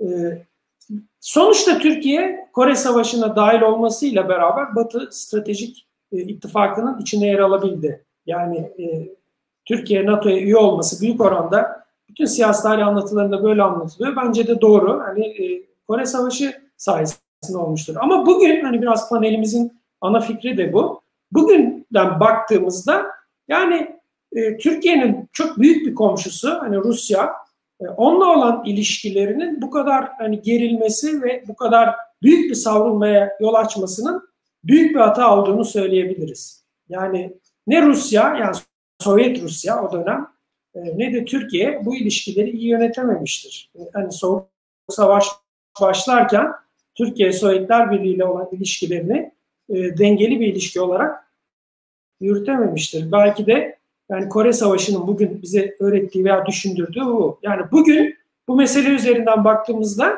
Soğuk Savaş biterken ki maalesef Soğuk Savaş bitmesine rağmen Kore Yarımadası hala bölünmüş durumda. Yani belki de Soğuk Savaş'ın izlerinin kaldığı tek yer, tek kıta yani öyle bir durumda. Yani böyle bir durumdayken Türkiye'nin yani Kore Savaşı'nın e, işte bu kolektif hafızadaki şeyine baktığımızda e, düşünmemiz gereken Türk-Rus ilişkileri üzerine belki sonuçlar çıkarmalıyız. Yani Türkiye'nin e, Rusya ile olan ilişkilerine soğuk savaş biterken çok daha dikkatli olması gerektiğini söyleyebiliriz. Yani soğuk savaş başlarken yapılan iki taraf için de geçerli hataların soğuk savaş biterken tekrar yapılmaması Kore Savaşı bende açıkçası bunu düşündürüyor. Ee, yani Soğuk Savaş'ta yaşanan, yaşanan iki büyük komşunun bütün bu olumsuzlukları tekrar yaşamaması için e, Kore Savaşı benzer benzeri küresel gerilimlere daha hazırlıklı bir şekilde iki tarafında gitmesi gerektiğini söyleyebiliriz. Ama e, tabii e, bugün Hankook Üniversitesi ile bu toplantıyı yapıyoruz. Hani Güney Kore Türkiye ilişkileri açısından bakarsak e, toplantının başında ifade ettiğim gibi e, bu gerçekten Türkiye ile Güney Kore ilişkilerini bir daha kopmayacak, sarsılmayacak şekilde birbirine bağlamış çok önemli bir siyasi gelişmedir. E, ve bunu iki toplumda e, bu tür toplantılarla, çeşitli faaliyetlerle yaşatmalıdır. Yani Asya'nın iki ucundaki bu iki önemli devlet, iki Asyalı güç e, tekrar yani böyle bir stratejik zeminde bir kardeşlik bağıyla, kan bağıyla geleceğe birlikte bakmalılar diye düşünüyorum. E, şimdi e, sözü izin verirseniz e, biraz meselenin e, kültür boyutuna değinecek olan e, Lee Hoca'ya vermek istiyorum. Lee Hoca e, e, e, Hankook Üniversitesi'nde e, e, Türkçe Azerbaycan Almanca bölümünde e, profesör. Ama Leo Hoca gerçekten bizim kültür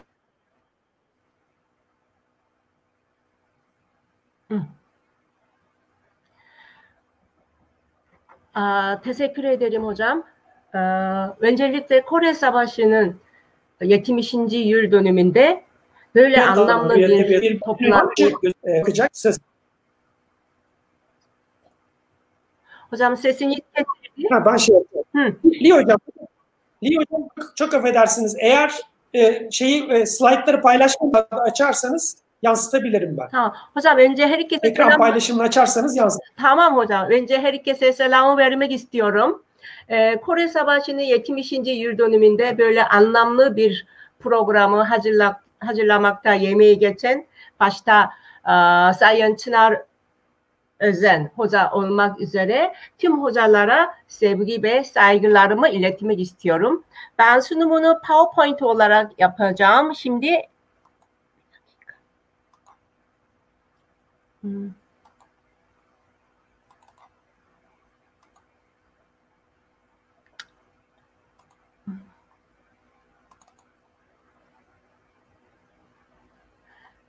Ekranda görebiliyor musunuz?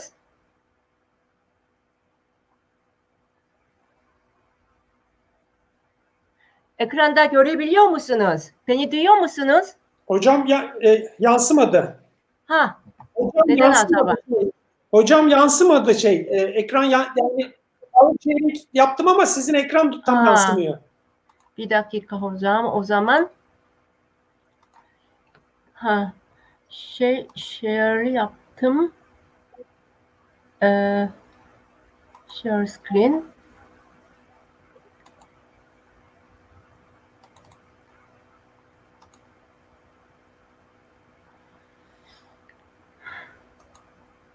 Hmm. Aa.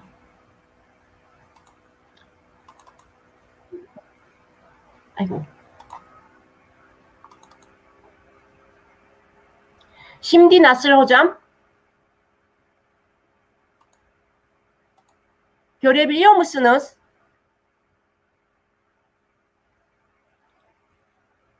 Görün yok görünmüyor hocam. Ha. Ya bembeyaz görünüyor. Şeyi seçeme uygulamayı Yok hocam. Uygulamayı seçemediniz Aa, hocam uygulamayı seçtim Büyük de. ihtimalle. Ha. Share screen.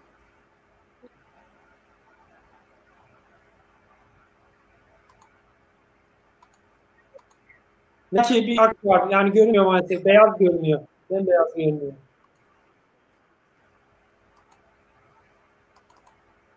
Aa.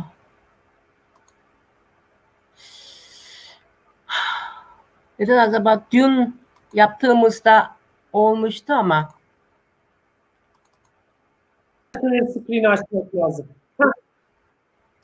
şimdi görüyor musunuz? Evet açtım. Yok hocam. Şöyle görüyor.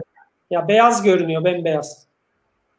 Maalesef. Galiba yapamayacağız onu. Ha.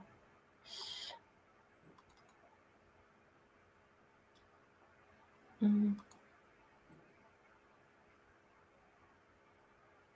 Ya böyle açılıyor hocam. Bütün ekranı açıyorsunuz. Hı.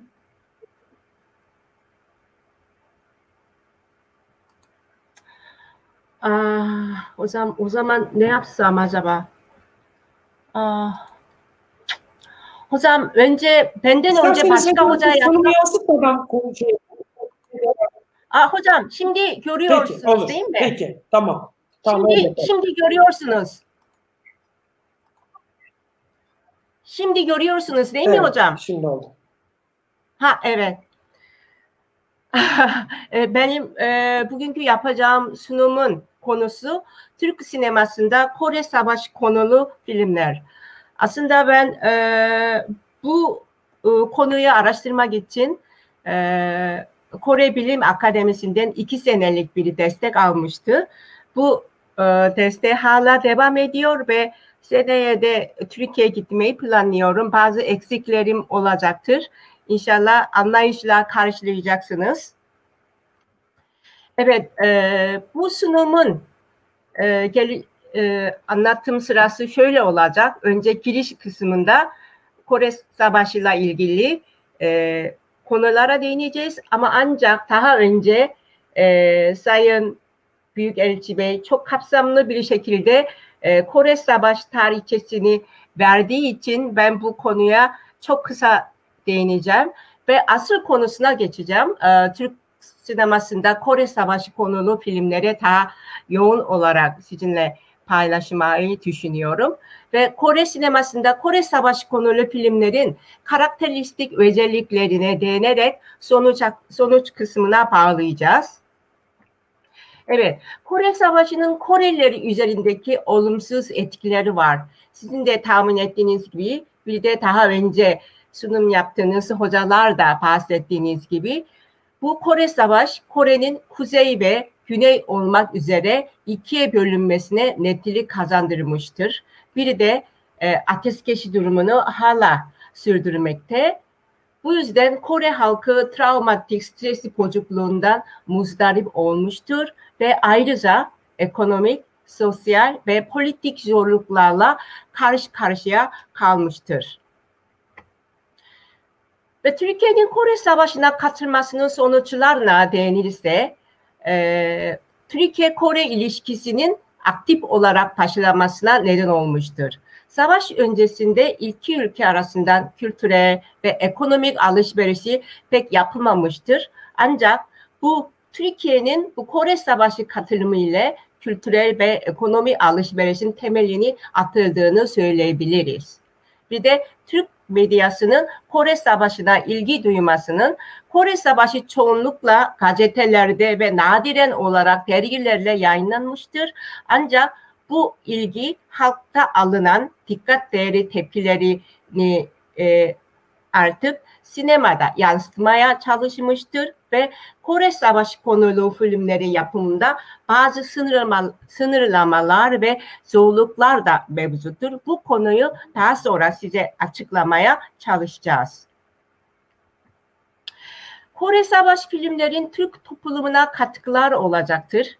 Bu Türk sinemasında Kore Savaşı konulu filmleriyle ilgili kaynakları incelemesi bizim gibi akademisyen için son derece önemlidir. Bir de bu filmlerin özelliklerini ve anlatıların analizi etmesi de son derece önemli olduğunu düşünüyoruz. Ve asıl konuya geçeceğiz. Türk sinemasında Kore Savaşı konulu filmlerin listesine bakacak olursa şu ana kadar 17 film e, gösterime girmiştir. İlk filmi 1951 ee, yılında Kore'de Türk kahramanı filmi çekilmişti. Direktörü ise Seyfi Havaeri. Bu filmin e, konusu Kore Savaşı'na katılan bir gönüllü askerin cesur eylemi üzerine e, hikaye edilen bir filmdir. Ayrıca 1951'de Kore Gazisi, 1951'de Mehmetçik Kore'de, 1951'de Kore'den geliyorum, 1951'de Kore'de Türk süngüsü. Şimdi siz de bildiğiniz gibi Kore Savaş 1950 yılında patlak vermiştir ve Türk askeri Suez, Suez kanalından geçip ancak ancak Ekim'de 1900 Ekim'de e, Busan havalimanına varmıştır ve bu çok kısa bir süre sonra yani 1951'de bu Kore'de Türk e, kahramanları 1951 Nisan ayında vizyona girmiştir. Düşündüğünüz gibi son derece çok kısa bir zaman içinde Kore Savaşı ile ilgili filmler Türkiye'de gösterime girmeye başlamıştır. Bir de 1952'de iki tane filmde gene e, üretilmiştir. De Kore Savaşı'ndan sonra 1954'te Şimal Yıldızı filmi. Bu yıldız bu Şimal Yıldızı filmi ben birçok Türk hocalara sorduğumda bu filmi çoğu biliyordu. Demek e, bu son derece önemli bir film. Ben de e, bu nedeni sormuştum. Onlar ise e, şöyle dediler bana. Bu Şimal Yıldızı'da başrol oynayan erkek oyuncusunun çok yakışıklı ve o dönemde çok popüler bir oyuncusu olduğu için daha çok e, kadın seyirciler bu e, oyuncuyu seyretmeye gitmiştir dedi. Bir de 1957'de Ağlayan Gelin, 1961 yılında Sonbahar Yaprakları. Bu ben e, Türk edebiyat üzerine çalıştığım için bu e, film son derece benim e, dikkatimi çekti. Çünkü daha çok kadın üzerine, daha daha önceki filmlerde kadın figürü yokken bu filmde kadın sorunu ele alınıyor. Bir de Akşam Güneşi filmi de 1966 yılında siz de bildiğiniz gibi Türkiye'nin çok önemli bir roman yazarı Neşat Nuri Gintekin'in bir romanından uyarlanarak e, bu filmi çevirmiştir. Bir de Ezogelin filmi. Bu da son derece Türk e, sinema tarihinde önemli olduğu için bu sunumun son kısmında tekrar bahsedeceğim. Ancak şunu söylemek gerekir. Bu film 1955, 1968 ve 1973 yani aynı adı altında üç kere e, vizyona girmiş olması son derece önemli bir e, noktadır. Bir de 1983 yılında Kore Savaş'tan sonra e, yaklaşık evet, 30 yıl geçtikten sonra gene Kore Savaşı'yla ilgili bir film çekiliyor. Esir adlı bir film. Bir de e, Sayın Rektörü Bey de bahsettiği gibi 1917 yılında Ayla filmi gösterime girmiştir. Bu filmi de Türk subayı ile Koreli bir yetim arasında geçen dokunaklı bir hikaye. Ve bu film e, tabii ki siz daha iyi bilirsiniz. Bu film e, Türk sinema tarihinde en çok izlenen Türk filmlerin listesinde 6. sırada yer alıyor. Son derece büyük bir başarı. Evet, bu Türk sinemasında Kore Savaşı konumu filmlere bakıldığında Kore Savaşı'nın e, Türk toplumu üzerindeki etkilerine de göz atmak gerekir. E, 1950'lerde ve 1960'larda Türkiye'de önemli bir konu olmuştur Kore Savaş ve bu da film endüstri üzerinde de bazı etkiler bırakmıştır ve birçok filmin olay örgüsünde önemli bir rol oynamıştır. Hiç alakasız ol, olan bir filmde mesela Koreli diye e, e, bir rakap çıkıyor. Koreli deyince o dönemde e, akıl e, dengesi normal olmayan insanlar insanlara takılan bir rakap olduğu da sonradan öğrendim. Ve bu listedeki filmlerin temel özelliklere bakıldığında savaş sırasında yani 1950'den 1953'e kadar 7 film üretildi. 1951'de gösterime giren Kore'de Türk kahramanları filmi dahi 5 film. Yani Kore Savaşı'ndan hemen sonraki yılında 5 tane film e, vizyona girmiş. Bir de ağırlıklı olarak bu 5 filmin konusu ağırlıklı olarak Türk askerlerin cesaretini tasvir etmekte ve Kore Savaşı'ndaki gurur verici başarılarını önemli bir şekilde e, göstermektedir. 1952'de iki film e, vizyona girdi. Bu da savaştaki askerler ve sevgilileri hakkında ta melodramatik hikayelere odaklanmıştır. Savaştan sonra 1954'ten 2017 yılına kadar da 9 film üretildi. İki film ise gene Türk askerlerin cesaretini tasvir eder. Mesela Şimal Yıldız ve Esir adlı film.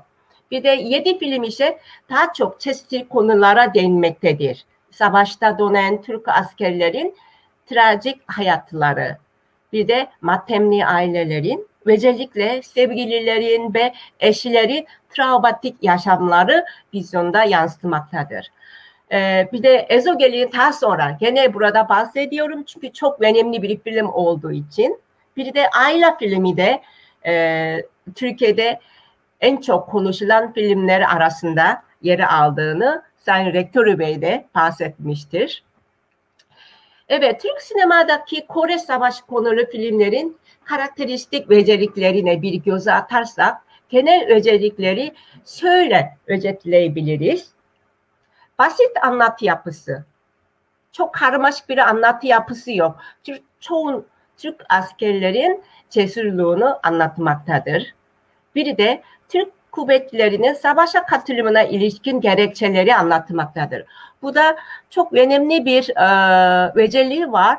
E, örneğin hmm, Kore'de Türk simgesi bir de e, Şimal Yıldızı adlı filminde asıl filmin başlamadan önce 7 dakika Kore Savaşı'yla ilgili belgeselleri gösteriyor. Bu da e, Türk kuvvetlerin neden savaşa katıldığını seyircilere göstermek için kastı olarak böyle bir belgesel koymuştur. Bir de Türk askerlerinin kahramanlığını savunmak için de böyle bir belgesel koymaya ihtiyaç duymuş olabilir. Bir de filmlerdeki sinematik karelere bakıldığında Kuzey Kore'yi açık düşman olarak belirtmekte, bir de Türk halkına anti komünizmi aşılamakta ve Güney Kore'de özgür demokrasi korumak adına savaşın mesuliyetini aramaktadır. Ve filmlerin e, stratejik amaçlarına bakıldığında aslında bu sadece Kore Savaşı konulu Türk e, filmleri için geçerli değil. E, savaş konulu filmlerde çoğu propaganda yapmaktadır. Neden savaşa girildiğine ve Türk burada daha çok bu Türk filmlerde ise Türk üstünlüğünü anlatmakta bir de vatanseverlik e, severliğini güçlendirmekte ve anti komünist filmlerin çoğunlukla ve komünizme karşı savaşmak için savaşa katılmanın meşruiyetini savunmaktadır. Bir de ana teması gene tekrar size e, bahset, e, bahsediyorum. Bu da Türk askerlerin cesurluğu yüzde yüzde seksen bütün filmlerde Türk askerlerin cesurluğunu anlatmakta. Bir de savaşın tehsetini ortaya çıkarmaktadır. Filmlerin belirli özelliklerine gene göz atmak gerekirse sıkça cesaret veya fedakarlık imgeleri üretmektedir. Kore Savaşı sırasında ve sonrasında üretilen filmlerin kahramanlara bakılırsa bu kahramanları çoğu kendi duygularını göstermeyen sert bir adam rolünü oynamakta.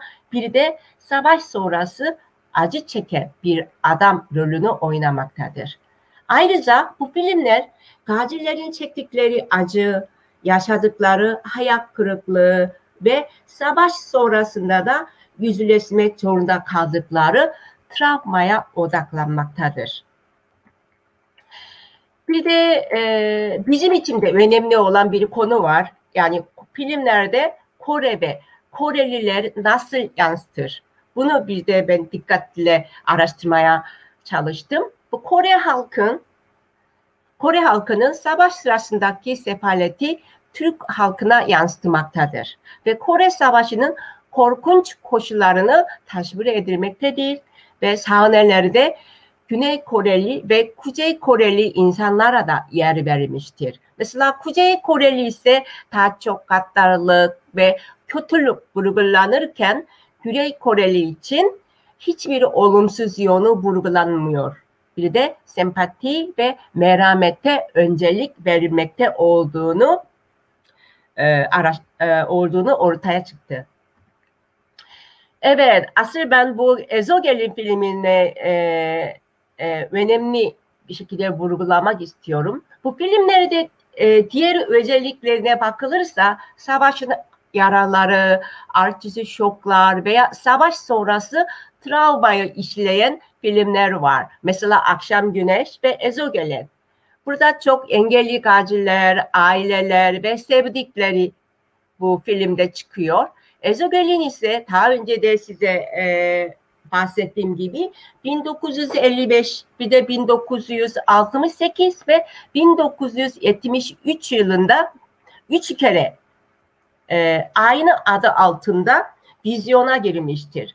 Ben bu filmi neden e, e, önemli olduğunu söyleme gerekirse bu film 19 diğer filmlerde sinema açısından estetik bir yönü yokken bu Ezogel'in filmi 1970 yılında Adana Film Festivali'nde ikinci başarılı bir ödül aldı ve Ezogel'in rolünü oynayan Fatma Girik ise en iyi kadın oyuncusu ödülünü almıştır. Ben de bu filmi ayrı bir şekilde e, e, Kore'de bir e, akademik bir dergide bu film üzerinde özellikle odaklaşarak bir yazı yazmıştım. Bu Ezogel'in e, içeriği şöyledir. Kocasının Kore Savaşı'nda öldüğünü öğrenen bir kadının hikayesi. Aslında ölmüyor ama öldüğü bir haber aldığı için bu kadının hayatı artık e, büyük bir trajediye giriyor. Kore Savaş kocasını ondan uzaklaştırır ve intihar etmesine neden olmaktadır. Ve bu yüzden bu film Kore Savaşı'nın paramparça, param, paramparça ettiği bir ailenin trajedisine odaklanır. Sırf ezogelin değil sonra e, öldüğünü düşünen ama ölmeden geri dönen o askeri de kendisi de e, çok mutsuz bir hayatı sürdüğünü ve sonuçta bütün ailenin e, paramparça olduğunu bu filmde e, görebiliriz. Yani bu Kore Savaşı'nın paramparça ettiği bir ailenin trajedisi bu filmin konusudur. Bir de o zaman bütün bu filmlerin verdiği asıl mesaj nedir? Bu konuya biraz değinmek gerekirse tabii ki e, tahmin ettiğiniz gibi savaşın dehşetini anlatarak bir de savaşın neden olduğu kötülükleri kınayarak savaş karşıt mesajlar vermektedir. Bir de savaş sonrasında yaşanan sosyal sorunları da ilgilenmektedir. Yani ailenin yaşadığı acıları, daha çok ağlayan gelin, sonbahar yaprakları adlı filmleri de bu ailenin yaşadığı acıları yansıtmaktadır. Bir de ailenin dayanması az önce bahsettiğim Ezekiel'in filminde bu çok vurgulanmaktadır. Bir de savaş sırasında şehit düşme ve yaralanma. Bu da Akşam Güneşi adlı filminde de yansıtmaktadır. Bir de savaş derken en çok e, aklımıza gelen önemli konulardan biri olan travma. Bu travma meselesi de birkaç Türk Kore Savaş konulu Türk filmleri de görebiliriz. Evet sonuca geldik. Bu savaş filmleri de neden önemli? Çünkü biz savaşı hatırlama, bize savaşı hatırlama ve belgeleme rolünü üstlenmektedir. Ve savaşa katılımı meşrulaştırmak için büyük önem taşıyan bir araç olarak bu savaş filmleri kullanılmaktadır. Bir de hakim ideolojileri e, topluma yaymakta yararı olduğunu düşünüyorum. E, neden o zaman savaş e, gazete, dergi, kitap değil de filmi filme çevirerek bunu yaymak istiyor. Çünkü film ise mesajları daha etkili bir şekilde iletebiliyor. Yani diğer medyadan daha güçlü etkiler bırakabiliyor. Sıklıkla fikir birliğine varmak, halkla bağ kurmak ve destek kazanmak için kullanılmaktadır. Mesela bu Kore Savaşı konulu Türk filmleri de Türkiye'nin Kore Savaşı'na katılması ve Kore'ye askeri gönderilmesi hakkında yapılan eleştirileri durdurma konusunda oldukça yardımcı olmuştur. Belgeselleri koyarak daha önce bahsettiğim gibi Şima Yıldız ve Kore'de Türk Kore'de Türk Süngüsü filmleri de Kore Savaşı'na ilgili teşhit veren bu belgeselleri koyarak e, Kore, Sava Kore Savaşı'na askeri gönderimi hakkında yapılan eleştirileri durdurma konusunda yardımcı olmuştur. Bir de görsel görüntüleri kullanmanın son derece etkili olduğunu ispat etmiştir. Tabii ki bu da e, bütün savaş konulu bütün filmler için geçerli bir gerçek. Bir de Türk sinemasında Kore sineması konulu Türk filmleri Türkiye'nin Kore'ye askeri gönderme kararının arkasındaki sebepleri de bu filmlerde yansıtmaktadır. De Türk halkının bu gibi karara bakış açısı ve bunun sonucunda ortaya çıkan sorunları da bu filmleri de ele almaktadır. Bir de Türklerin Kore'ye ve Korelilere olan bakış açıları da bu filmde görebilirsiniz. Bir de e, benim en çok araştırmaya yöneldiğim konu bu savaş sonrası travma. Bunları hepsini e, Kore Savaş konulu Türk filmleri de görebilirsiniz. E, son olarak bu Kore Savaşı'nın Kore ile Türkiye arasındaki ilişkilerde ve Kore'nin bölünmesinde önemli bir tarih olarak tanınmasında destek olmaktadır bu filmler. Bir de savaşın koşullarını düşünmeye ve incelemeye fırsat verdiğine e, şahit oldum. Bir de Kore'de ve diğer ülkelerde üretilen Kore Savaşı konulu filmler ile karşılaştırıldığında gelecekteki araştırmacılar için faydalı bir kaynak olması beklenmektedir. Ve en son olarak siyaset, toplum, kültür, edebiyat ve sinema dahil olmak üzere birçok alanda Kore Savaşı konulu araştırmalara daha fazla ilgi gösterdiğini ümit ederek e, bu sunumu e, burada noktalanmak istiyorum. Beni dinlediğiniz için çok teşekkür ediyorum. E, Lee Hocam çok teşekkür ederiz. Lee Hocam'ın bir özelliğini söylemeyi unuttum. Lee Hocam da Ankara Üniversiteli. E, evet. Tarih Coğrafya Fakültesi'nde doktorasını tamamlamış. E, hem bir Ankaralı hem de bir Ankara Üniversiteli. Onun için de ayrıca gurur duyduk. Çok e, Çok enteresan, çok önemli bir sonuç oldu. En sonda bir soru cevap kısmımız olacak. Katılımcılarımızdan bir kısmı yazmaya başladı sorularını. Hani sormak isteyenler lütfen yazabilirler. Onları yönelteceğiz. Size bir soru mesela Ali Hocam geldi. Onu en son size bir daha söz vereceğim. Tabii. Ve o soruyu yönelteceğim. Çok teşekkür, teşekkür ediyorum. Ben teşekkür ediyorum. Şimdi panelimizin üçüncü konuşmasını e, bölümümüzün Siyasi Tarih Anabilim Dalı Başkanı Profesör Doktor e, Melek Fırat yapacak. E, Melek hocamız e, daha çok uluslararası sistem savaş dengeleri içinde Kore Savaşı'nı biraz bugünden bakarak e, değerlendirecek. Söz sizin hocam, buyurun. Ee, çok teşekkür ediyorum. Bütün e, emeği geçenlere bu e, panelin düzenlenmesinde teşekkür ediyorum katılımcılara da.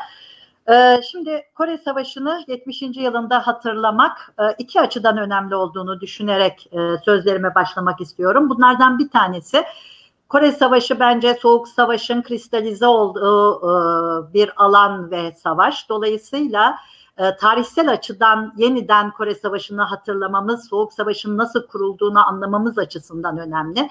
Çünkü Soğuk Savaş içerisinde yazılan bütün çalışmalar Kore Savaşı üzerine daha ideolojik nitelikli e, çalışmalardı. Dolayısıyla Sovyetler Birliği'nin dağılmasının üzerinden 30 yıl geçtikten sonra ve Sovyet arşivleri açıldıktan sonra Sayın Büyükelçimizin de söylediği gibi aslında e, Soğuk Savaş yeniden değerlendirilmeye alınması gereken bir tarihsel konu.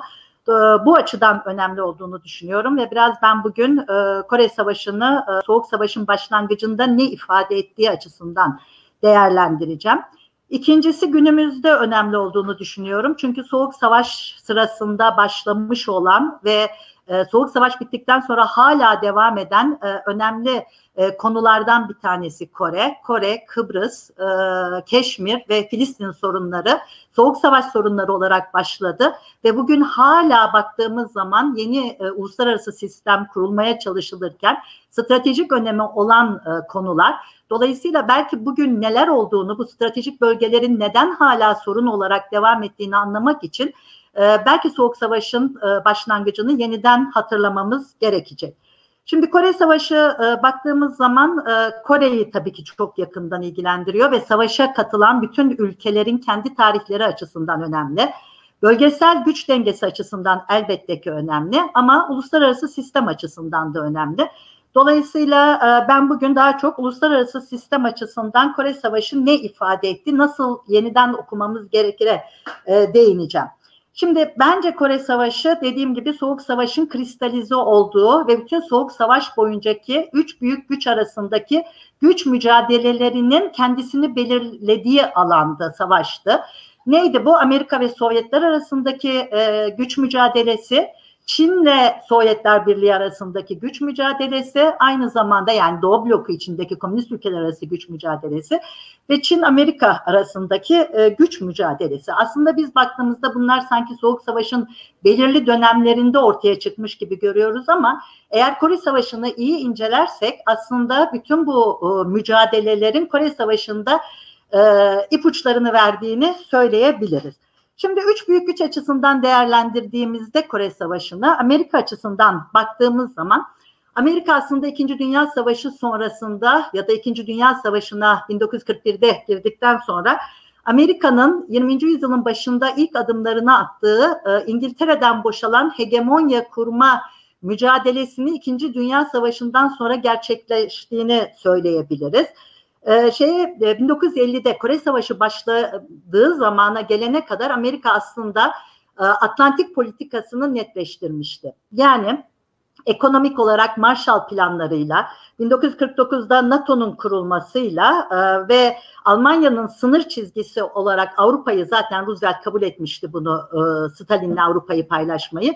Dolayısıyla e, Atlantik cephesi Amerika açısından artık sabitlenmişti. Özellikle de Truman doktriniyle e, Yunanistan ve Türkiye'de çevreleme politikasının bir parçası olduktan sonra hemen arkasından Pasifik politikası Amerika'nın her zaman iki politikası olduğunu unutmayalım. E, Pasifik politikasına geçti ve Kore Savaşı Amerika'ya burada e, eline e, bir fırsat geçirdi. Şimdi bütün 45'ten sonra baktığımız zaman Pasifik'e dönen Amerika Japonya'ya iki atom bombasının atılmasından sonra bir kere Japonya'yı denetim altına aldı ve bundan sonra biz MacArthur'u görüyoruz ki Washington'a bile danışmadan Pasifik politikasını tek başına belirlemek gibi bir e, inisiyatif e, üstleniyordu. Zaman zaman Washington'da da dediğim gibi çatışma içerisine girerek. Ve MacArthur'un temel politikasını ise Sovyetler Birliği'ni mümkün olduğu kadar Asya'dan e, uzak tutmaktı. Zaten e, Japon Savaşı'na sokulmayarak atom bombasıyla sona erdirilince savaş, Sovyetler Birliği alandan mümkün olduğu kadar uzaklaştırılmıştı. Ancak 1949'daki iki gelişme Amerika açısından e, tehlike çanlarını çaldırdı. Bir tanesi Sovyetlerin atom silahı yapma tekeline kavuşması. İkincisi ise Çin'de beklenmeyen e, devrimin e, komünistler tarafından iç savaşın kazanılmasıydı. Dolayısıyla Amerika Birleşik Devleti bu iki unsuru öne sürerek Pasifik politikasını oluşturmaya başladı ve arkasından Kim Il-sung'un e, saldırısıyla birlikte 38. paraleli geçmesiyle birlikte bunun bir komünizmin yayılması savaşı olduğunu e, ileri sürerek ve e, konuyu Birleşmiş Milletler'e getirerek bir soğuk savaş krizi haline, hür dünyanın savaşı haline dönüştürdü.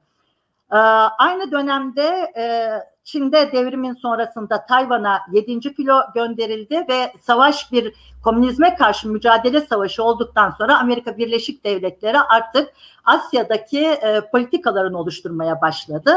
Özellikle 1951'de ANZUS'un kurulması, 1954'te SEATO'nun kurulmasıyla Sovyetler e, Avrupa'dan sonra e, şeyde de e, Asya'da da çevrelenme politikası e, başlatıldı. Ve bundan sonra Amerika'nın aslında baktığımız zaman hem Avrupa'da hem Pasifik'te hem de hemen arkasından 1950'lerde Avrupa'da varlığını kuvvetlendirdiğini söyleyebiliriz. Japonya'daki askeri e, gücünü arttırdı. Almanya'yı 1955'te NATO'ya soktu ve Almanya'da e, silahlı gücünü arttırdı. Yunanistan ve Türkiye NATO'ya sokularak NATO'nun alanı genişletildi. Çevrelenme Bağdat baktı e, ve Seoto üzerinden e, bütün e, Asya'ya yayıldı. Ekonomik olarak baktığınızda e, tarım ürünlerinde e, Kore Savaşı'ndan sonra ham madde taleplerinin artması ve yükselen fiyatlarla birlikte liberal ekonominin güçlenmesinde rol oynadı. Sonuç itibariyle baktığımızda komünizme karşı mücadele söylemiyle başlayan Kore Savaşı tüm Asya'yı Soğuk Savaş'ın içine çekti ve ABD hegemonyasının bütün dünyada egemenliğini kurmasına yol açtı. Sovyetler Birliği açısından baktığımızda Sovyetler Birliği İkinci Dünya Savaşı'nda Sayın Büyükelçinin de söylediği gibi İkinci Dünya Savaşı sonrası evet Japonya Savaşı'na katılmak istedi ama bunu e, başaramadı. Avrupa'daki gelişmeleri göz önünde tuttuğunuzda Asya'dan çevrelenme tehlikesiyle karşı karşıya kaldığını düşünen bir Sovyetler Birliği var. Zaten baktığınız zaman savaş içerisinde dahi ikinci cephenin açılmasındaki gecikmeler ve hatta savaştan öncesine bile baktığımız zaman Sovyetler Birliği bütün Batı'nın kendisine yönelik bir e, Almanya üzerinden kendisine yönelik bir e, savaş başlatılacağını düşünüyordu ve e, Sovyetler Birliği içerisinde Japonya'nın çekilmesinden sonra Asya'da bir antikolonyal mücadeleler başlamıştı ve e, devrimden hemen sonra Komintern'in aldığı kararlarla da aslında baktığınızda e, bu anti-emperyalist e, milli mücadeleler desteklenecekti. Sovyetlerin bütün politikası aslında kendisinin çevrelenmesini önlemek ve antikolonyal mücadeleleri desteklemek üzerine kuruluyordu. Onun içindir ki e, bir sosyalist olmakla birlikte ve Kim Il-sung kuzeyin başına getirilmiş olmasına rağmen Kim Il-sung'un bütün saldırıları 1950'ye kadar Sovyetler Birliği tarafından e, güneye yapılacak saldırılar reddedildi. 1950'de e, Kim Il-sung'un büyük bir saldırı başlatacağını açıklaması üzerine Stalin yeşil ışık yaktı ama bu yeşil ışığı üç koşulla yaktı. Bir Mao'ya bundan haber verilip Mao'nun onayının alınmasını istedi. İkinci olarak e, bunun e, Güney'in eylemlerine bir karşılık olarak yapılmasının üzerinde durdu. Üçüncü olarak da eğer olası bir Amerika ile karşı karşıya gelme durumu söz konusu olursa Sovyetlerin bu savaşa girmeyeceğini ve bunun için Çin'den yardım alınması gerektiğini söyledi ve bunun üzerine de e, Kim Il-sung'un bir e, Çin ziyareti vardır. Mao'yu e, haberdar etmek üzere. Dolayısıyla Batı literatürü şimdiye kadar bize hep şunu söyledi Soğuk Savaş sırasında. Sovyetler Birliği ideolojik yayılma e, hedefi güdüyordu. Dolayısıyla hem Doğu Avrupa'daki e, genişlemesi e, yani Doğu Avrupa'yı işgal altına alıp kendi denetimi altına alması hem de Kore üzerinden Avrupa'ya ve Çin'deki komünist devrimle Avrupa'ya e, şey As Asya'daki yayılması Sovyetler Birliği'nin komünizmi yayma politikasının bir sonucu ve Amerika e, buna karşılık e, hür dünyanın savunusunu üstleniyor gibi gösterildi. Oysa ki özellikle de dediğim gibi Sovyetler Birliği'de arşivlerin açılması sonucunda ortaya çıktığı gibi Stalin ne Kore'de ne de Çin'de ideolojik bir yayılmayı e, hedefliyor değildi. Çünkü e, Çin'deki ve Kore'deki e, gelişmeleri tamamen bir antikolonyal mücadele olarak görüyordu. Burada bir proleter de bu, bu toplumların köylü toplum olduğunu, dolayısıyla burada bir proleter devrimin söz konusu olmayacağını, ancak milli demokratik devrimine devrimin söz konusu olduğunu, dolayısıyla da burjuva unsurlarının da içine alındığı bir antikolonyal mücadele verilmesi gerektiğini söylüyordu. Ve eğer e, tabii ki Sovyetler Birliği e, Kuzey Kore'ye askeri destek verdi, teçhizat desteği verdi. Ama bu destek komünizmi yaymadan çok aslında baktığımız zaman çevrelenmeye karşı ve Amerika'nın hegemonyasını Asya'da kurmasına karşı e, verilen bir mücadeleydi.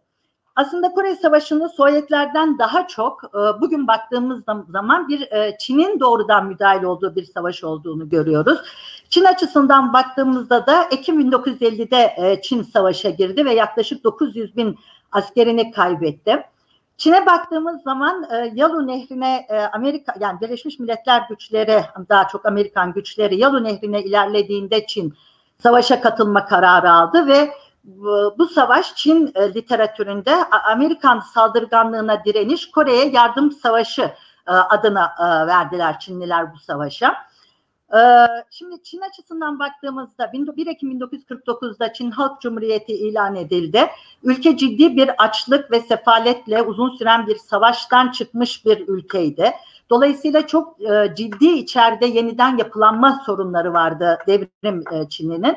Ve e, o sırada Amerika'nın Tayvan'a destek vermek üzere 7. E, filoyu Formosa Boğazı'na yollaması Çin açısından birinci öncelikli konuydu. Dolayısıyla Çin için Kore Savaşı e, birinci öncelikli bir sorun değildi. Ama 1950'de e, savaşa girdi ve e, bu savaşa girme nedenini biraz sonra söyleyeceğim ama Amerika Birleşik Devletleri'nin kendi varlığına yönelik tehdit oluşturması kadar Sovyetlerle Birliği Sovyetler Birliği ile ilişkisi açısından da önemliydi. Çünkü e, Çin kurulduktan sonra yani 1 Ekim 49'dan sonra e, Aralık ayında e, Mao'nun Sovyetlere destek için bir ziyareti var. Yaklaşık 9 hafta kadar Sovyetler Birliği'nde kalıyor, Moskova'da kalıyor ve Stalin'le ilişkileri aslında baktığınız zaman beklediği desteği alamıyor. Daha o dönemde yani 1949'un hemen e, ilk dönemlerinde, devrimin ilk dönemlerinde Moskova ile ilişkilerde bir e, sorun yaşanmaya başlıyor. 9 hafta boyunca e, Çin'e destek konusunda Sovyetler Birliği çekimser davranıyor. Chu Enlai geliyor krizi çözmek üzere Dışişleri Bakanı ve ondan sonra 14 Şubat'ta Dostluk, İttifak ve Karşılıklı Yardım Anlaşması imzalanarak Sovyetler Birliği Çin'e ekonomik yardım yapmayı e, kabul ediyor. Ama bu ziyaret Mao açısından baktığınızda Stalin'le ilişkilerinin aslında çok da beklediği kadar bir sosyalist dayanışma içinde geçmeyeceğini e, gösteriyordu. E, arkasından Kim Il-sung'un Stalin'in e, önerisiyle Moskova ziyareti var Mayıs 1950'de. Mao'nun ona yana almak üzere Pekin'e geliyor. Mao savaş stratejisini sorduğu zaman ama Kim Il-sung Mao'ya savaş stratejisi konusunda şey vermiyor. Ne diyeyim? Planlar hakkında bilgi vermekten çekiniyor ve Kim Il-sung'la ilişkisi de aslında Mao'nun çok dostça bu ziyaret sırasında dostça geçmiyor. Dolayısıyla bütün bunlara rağmen Mao'nun 1950'de e, şeye girmesi, Kore Savaşı'na girmesinin nedenine baktığımızda e, en büyük neden eğer Kuzey Kore düşerse ve Amerika Birleşik Devletleri Kore'de varlığını sağlamlaştırırsa bunun Çin'e yönelik bir e, savaşı da beraberinde getireceğini ve zayıf olan Çin'in tekrar milliyetçilerle birlikte hareket eden Amerika tarafından devrimin sona erdirileceği korkusunu duyuyordu. İkinci olarak da e, Kim Il-sung'a vereceği eğer destekten sonra başarılı bir sonuç alınırsa bunun da e, sosyalist blok içerisinde Çin'in en azından Sovyetler Birliği'ne karşı e, bir e, gücünü ortaya koyacağını düşünüyordu. Dolayısıyla e, şeyde e, Çin'in savaşa girmesi aslında savaşın kaderini de e, değiştirdi. E, dolayısıyla bir ateşkesi e, zorunlu hale getirdi. Şimdi bu savaşın Çin açısından e, sonuçlarına bakarsak kısa dönemde sonuçları çok e, başarılı olmadı. Çünkü e, Çin'in bu savaşa girmesi uluslararası sistemden ABD tarafından uzun sürede dışlanmasına yol açtı. Ama uzun vadede baktığımızda olumlu dönüşü oldu sonuçlarının. Bir kere Çin'de şey, bütün iç savaş boyunca gerilla savaşı yürütüyordu komünistler ve gönüllü halk ordusu adı altında gerilla savaşı e, yürütüyorlardı. İlk kez e, bir sınıfsal mücadele değil bir ulusal mücadeleye, vatan savunmasına dönüştü iş ve ilk kez halk ordusu bir düzenli nizami ordu haline dönüştürüldü. Ulusal savunma sanayinde önemli gelişmeler yaşandı. Dolayısıyla altyapısı bu dönemde kuruldu. E, ulusal birlik sağlandı, iç savaşın e, yaraları e, sarıldı ve e, Çin bu savaşı anti-emperyalist bir mücadele olarak yürüttü ve bu söylemini 1955'te Bandung Konferansı'nda Üçüncü dünyanın temsil, Sovyetler Birliği'ne karşı üçüncü dünyanın temsilcisi olma iddiasını ortaya koyabildi ve daha sonra da işte üç dünya teorisiyle Mao'nun bildiğimiz gibi e, Sovyetlerle mücadelesinde e, artık Doğu Batı değil Kuzey Güney mücadelesi olduğunu ve kendisinin Güney halklarının lideri o, o, rolünü üstleneceğinin ipuçlarını e, verdi.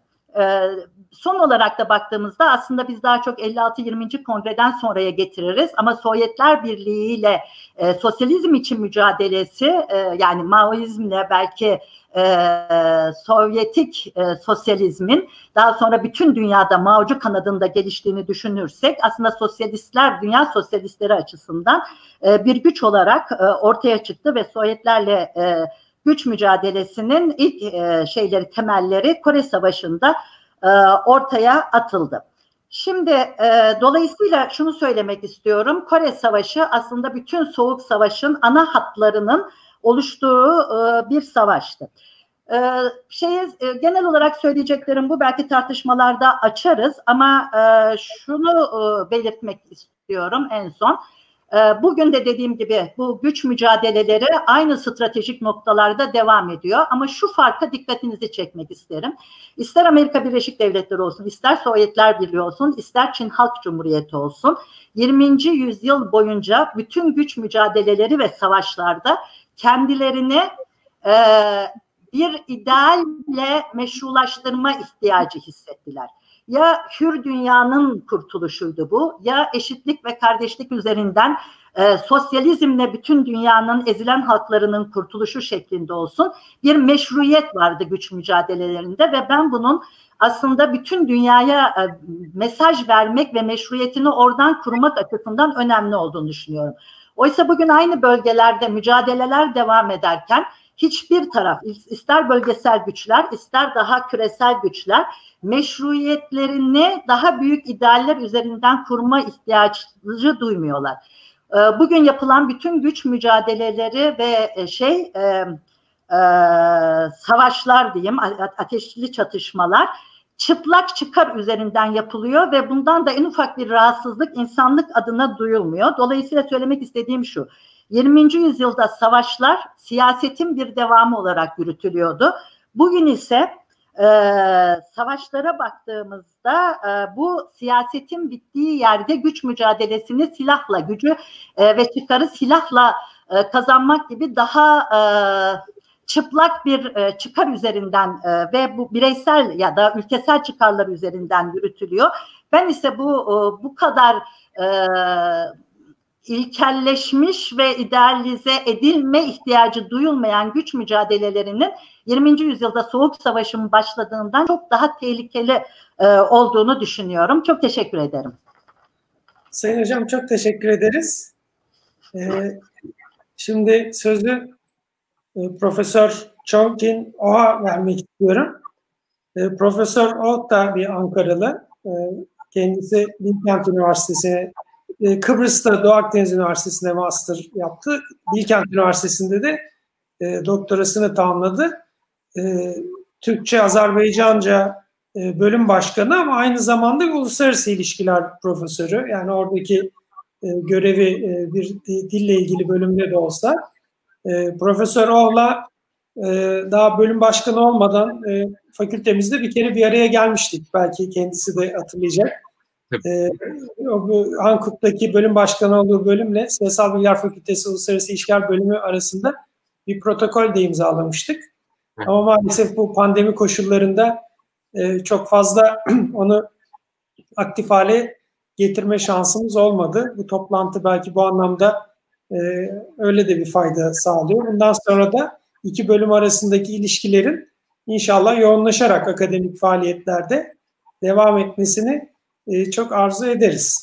E, evet, e, Profesör Oğa da çok teşekkür ediyoruz. E, o da e, toplantımızın Hankook Üniversitesi ayağında e, çok önemli bir e, organizasyon e, kısmını e, sorumluluk.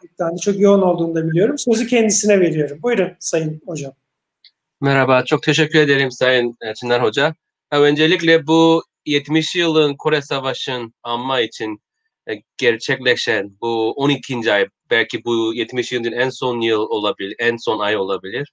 Bunun e, liderlik gösteren bizim Sayın Büyükelçimiz e, Erç, Ersin, Erçin Esin e, bizim Elçi Bey'imize e, çok teşekkür ediyoruz. Bir de e, bizim Hankook Üniversitesi'nin en değerli ve en eski kardeş üniversite olan Ankara Üniversitesi ile e, böyle bir anlamlı konferansını gerçekleşmekten çok mutlu duyuyorum. E, tabii ki ben hemen konuya geçeceğim. Zaten e, bayağı bir zaman da sürdü.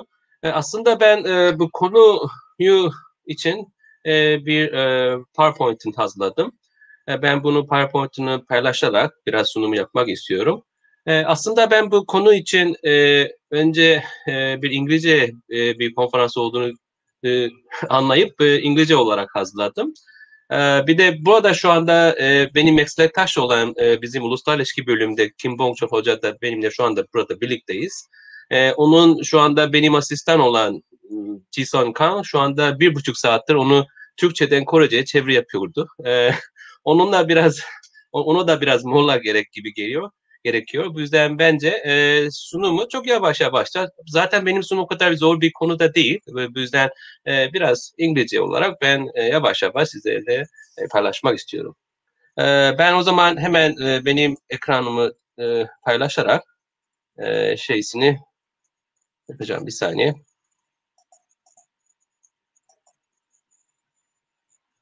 Tamam. Ee, şimdi görüyor musunuz? Ee, şimdi şeysini ben paylaştım. Görüyoruz hocam. Ben yansıttım görünüyor. Ee, bir saniye ben e, PowerPoint'un şu anda e, paylaştım.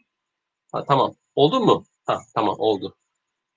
E, tamam o zaman şöyle hocam. E, tamam. E, tamam. O zaman ben sunumu kısaca biraz benim konum hakkında şey biraz e, söyleyeceğim. E, benim konum şey My topic today is about the going beyond the Korean War with allies, focusing on the academic cooperation. Uh, I will focus more or less very casual topic rather than very academic. Uh, so maybe you can enjoy uh, my presentation more easily. All right. Okay, so I would like to begin with the perception of Turkey in Korea. In generally, when we talk about Turkey in Korea, we say kan kardeş, yani brotherhood country or blood brothers. Uh, many of Korea knows as such uh, but sometimes they don't know exactly why we are blood brothers. Uh, sometimes someone argues that we are blood brother because of the World Cup, and some somebody also says that oh we are blood brothers because of maybe our historic heritage, and some say that we are brother because of Korean wars. But I think that most of the Korean perceive Turkey as a uh, blood brother because of Korean War. I think Korean War is a very momentum, very important event that gives uh, how the Turkey sees by many Korean, especially the old generation. Uh, they have a very very strong image of, of Turkey as a one of the bravest soldier in Korean War who fought for the Korean.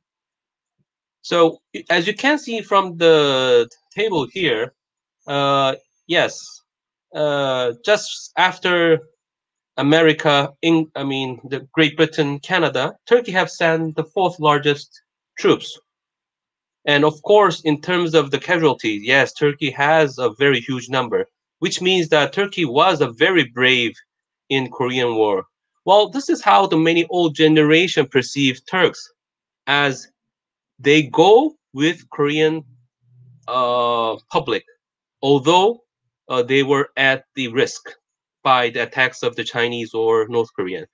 Well, many, eh, I mean, Americans or other foreign uh, troops were retreating when the Chinese were invade invading Korea, but many of Korean uh, memorize as uh, uh, they remember Turkey as being they being retreating with Korean people together until the last moment. So I think this is a very, very important perception how the Turk Korea sees Turks, meaning that they've been together at the hardest time together until the last moment. So I think the Korean War is a very momentum for Korea for the perception of Turkey. While this is a symbol of friendship and brotherhood, perhaps you may see this as such. This is the uh, so-called the UN Memorial Cemetery. So as you can see here, yeah, we have yeah the largest group of Turks being buried in our UN cemetery located in Busan. So this is actually one of uh, what I will call uh, very important destination for all Turks to visit uh, before, of course, they leave. Is in our second largest city, which is called Busan. And this is also uh, the memorial monument for Turkish veterans participating in Korean War, which is located in Yongin, Gyeonggi-do, which is very close to our Hankuk University Yongin campus. So uh, this is something like uh, Ankara Park in, I'm, I'm, I'm sorry, uh, yeah, uh, so-called Korean Park in Ankara. Uh, similar to that, this also commemorates the Turkish participants in the Korean War. Now I will show you some of the small uh, short video, which is about three minutes. I hope I can stream this one because then I will convey to my presentation to so-called academic cooperation. Oh, okay. Uh, before that, I will go as as my topic says, going beyond the Korean War. As you can see, uh, many Korean War veterans are getting older and they're fading away because of their age. Now we have a very, very few of them who is still left. And our young generation no longer have direct experience or knowledge about Korean War. I mean, many of Korean, even my daughter who is 16 years old, she don't have any idea about Korean War. She is very much used to so-called, I mean, today's life so-called Akolai Hayat. I mean, very easy life here. I mean, everything is prepared. Uh, so while the Korean War, they didn't have a direct feeling. Okay, we used to have war. It's like the old time history uh, war, which they don't really have a direct feeling. Uh, but uh, for today, I think the Korean War is not only a sad history, because of the Korean miracle in economic performance, and of course the politically and internationally, Korea have grown from the Korean War ashes to what is today's to uh, Korea right now. Uh, so many youngster Koreans uh, know about the current Korea rather than the past Korea. So I think the sharing the fact, historical fact, and experience to next generation is very important. Uh, not even to only to our veterans, but also our foreign allies and partners like Turkey. How? Of course, I would say that by education. I mean, I mean, ATIM, right? So academic cooperation between Korea and Korean War participant country will enhance strategic and cultural relation with 22 countries. Of course, including Turkey is a very important partners. And of course, by this program, this kind of a program and approach, I think student mobility program is a very important. I think the students should mingle together. They should meet together and share what is Korea right now, let's say to Korean pops, to the Korean war together. And I think this should be go beyond the Korean War of history to our current political cooperation, to economical cooperation, and to social cooperation. But in the, that is why perhaps the higher education cooperation is very important, and also exchange of students from each country is very important. So I will show you some of the video next about the program. This is called UN Peace Camp.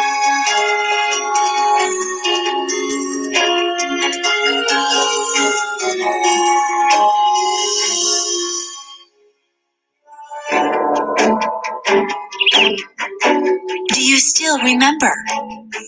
Have you not forgotten of those days? Their, you know, sweat, blood, and tears and the way that they fought for this country, they really shaped the world that we live in. Because of the noble sacrifice of UN fighters and veterans, we were able to stand up once again. They said it would take much more than a hundred years. But within 60 years, Korea grew to be a nation standing shoulder to shoulder with the rest of the world.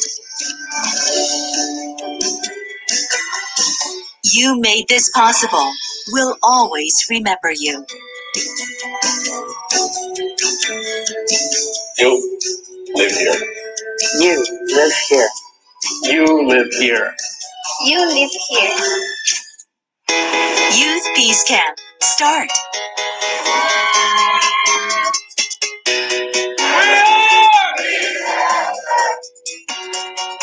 Youths from around the globe came together to Peace Camp to continue your will. I think it's a great idea for uh, all of these young people to come and interact with each other and learn about our culture and history that we share.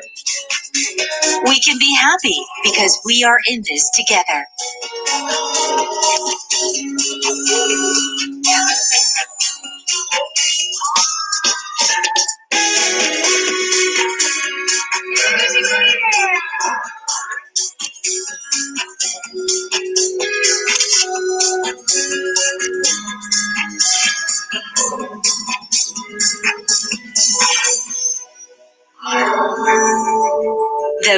And freedom you've protected is why Peace Camp must continue.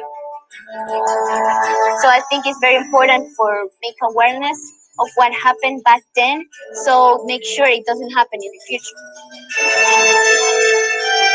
I'll still, as a descendant of a Korean War veteran, I believe it's my personal responsibility to do my best to serve and ta- take care and uh, trying to pay back all of the efforts that they gave us. Thank you. I'm proud of you. Our friendship and solidarity will be the foundation for the future.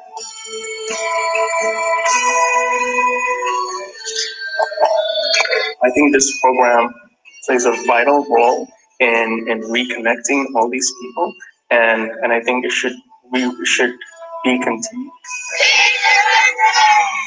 I love Korea. The nation everyone came together to protect. Come and meet us. Your Korea. Youth Peace Camp.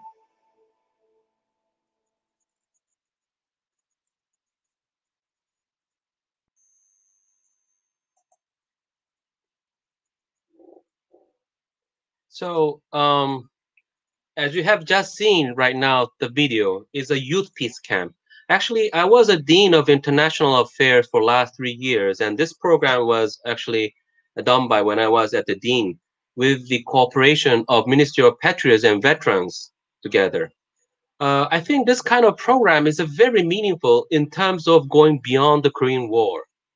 So, with the support of Ministry of Patriots and Veterans, uh, so-called grand veterans, grandchildren's who are attending the university and colleges are invited every year for seven days program all around the world. And as you can see, yes, Turkey has uh, six quota every year. So yes, with this year, I think they didn't do it because of uh, Corona, COVID-19. But I think uh, next year, uh, hopefully that we can continue this program.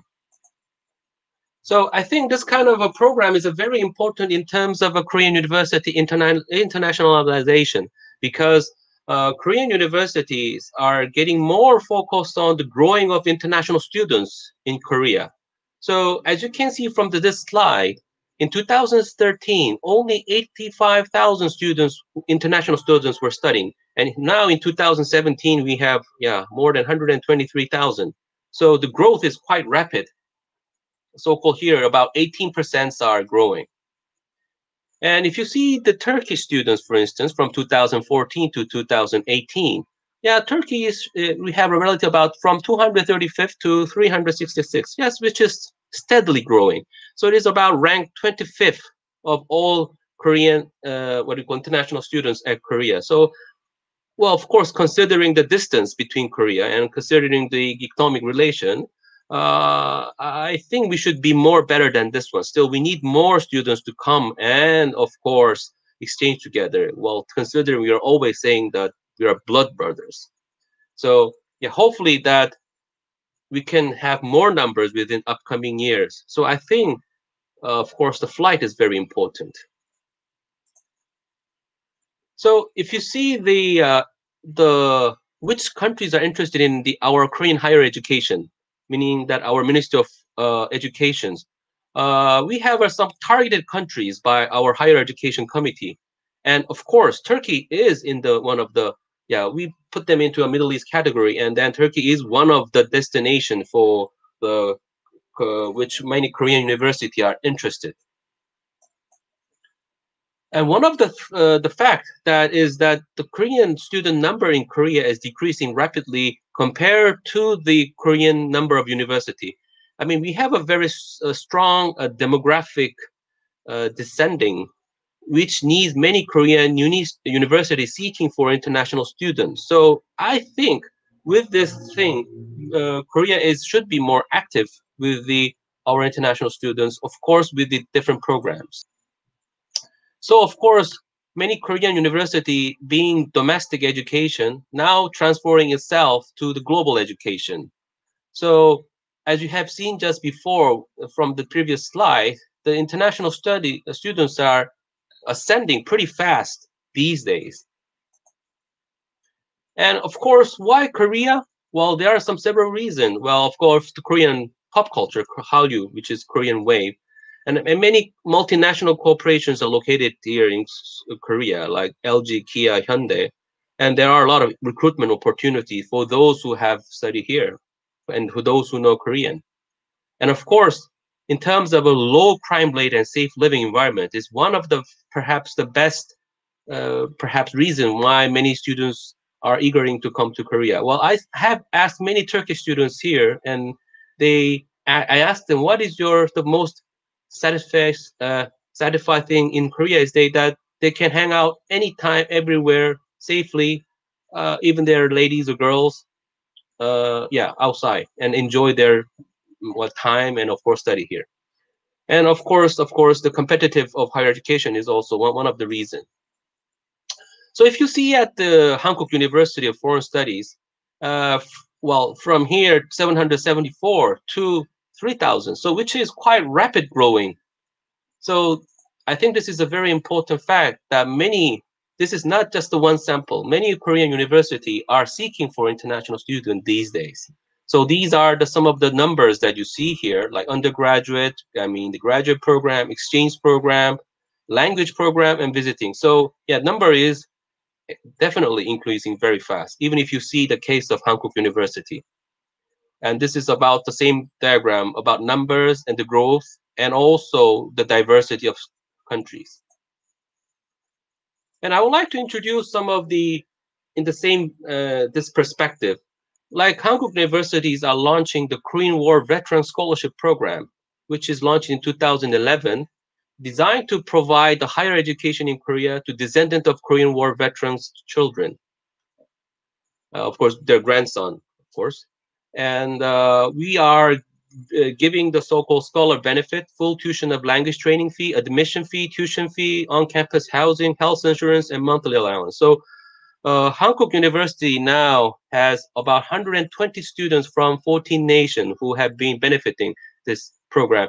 And this is not the only university. As uh, I have checked with several universities like Myungji University, Korea University, and Kyunghee, uh, which is our neighboring, they do have a very similar program. So, but unfortunately, these are not much well known. So I think the one of the thing that what Turkey students seek is to ask the our education attaché, meaning that you know Eğitim Musavir at the Korean embassy in Ankara about this different programs. Maybe they will guide you about this kind of program Well, so in in among the 132 students, uh, until today, from 2011 to 2020, 24 Turkish students have enjoyed uh, studying here uh, by full scholarship. I think even today, uh, yeah, even this semester, I have seen the four application from Turkey, and I think one of the Turkish students will enjoy a full scholarship from next year to study in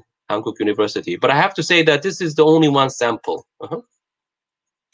So I think uh, going beyond the Korean War, I think the government and NGO, we need a lot of supporter. And of course, the higher education like Hankook University and other colleges and university with the academic cooperation, I think student mobility should increase. And this will be definitely delivering the heritage of our Korean War and of course friendship to next generation.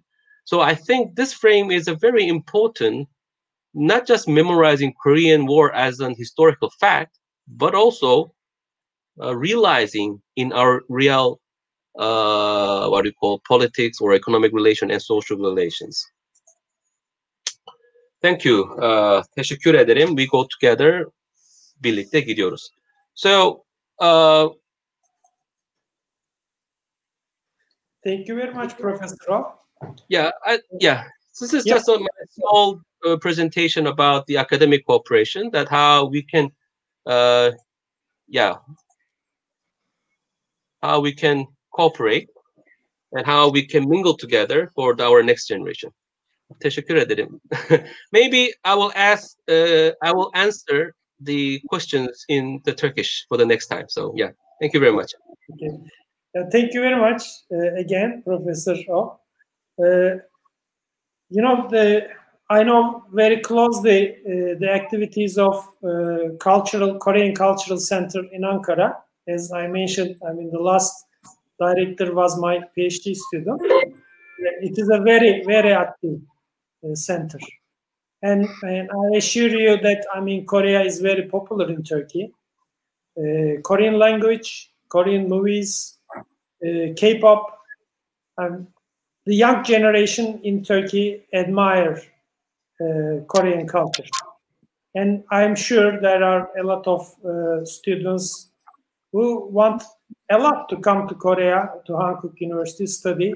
Because of that, I mean, all the explanations that you gave us are very important for uh, them. Uh, if there will be questions, as you mentioned at home, I want uh, to give you the floor again uh, to say something in Turkish as well uh, for studying uh, in Korea for Turkish students. I want to thank, I want to thank as well Professor Kim for his patience.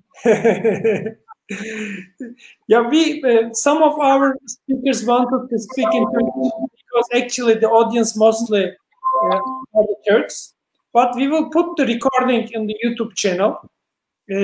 Uh, it means that later on we will have a much more international and wider reach. Because of that, I mean, the speaking in English uh, is also, I mean, very convenient. Uh, uh, Professor Kim has a PhD from King's College. He is a lawyer specialized on international economics and head of Division of International Studies. Thank you very much again, Professor Kim, and the floor is yours.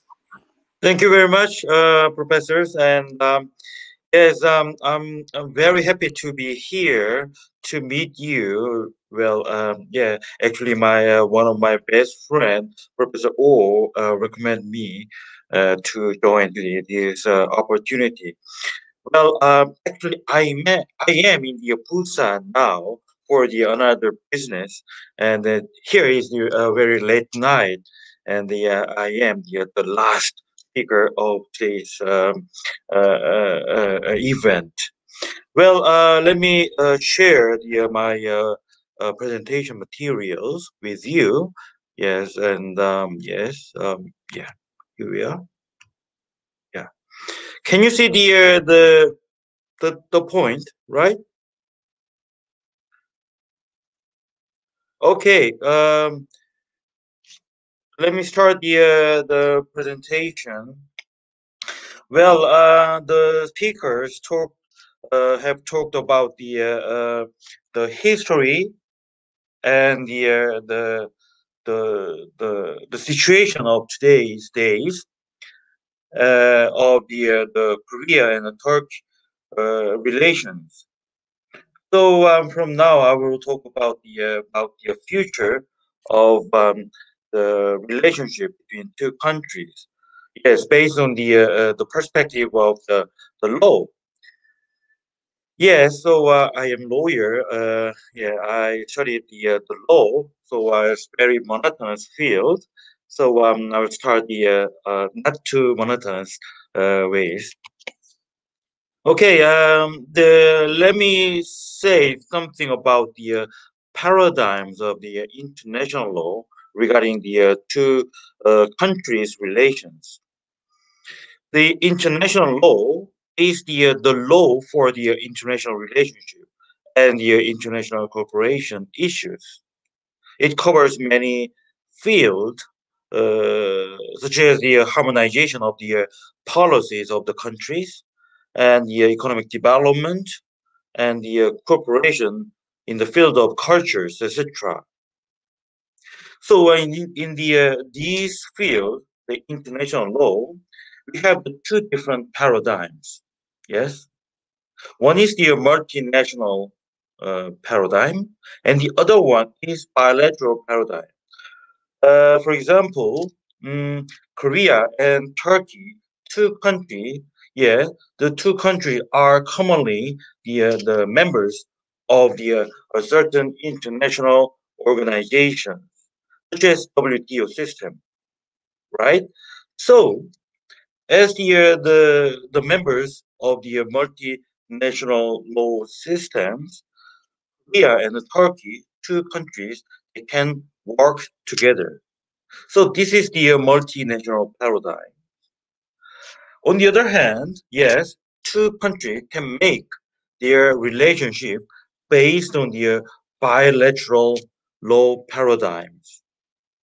It is a bit more direct ways. Yes, it is. It is.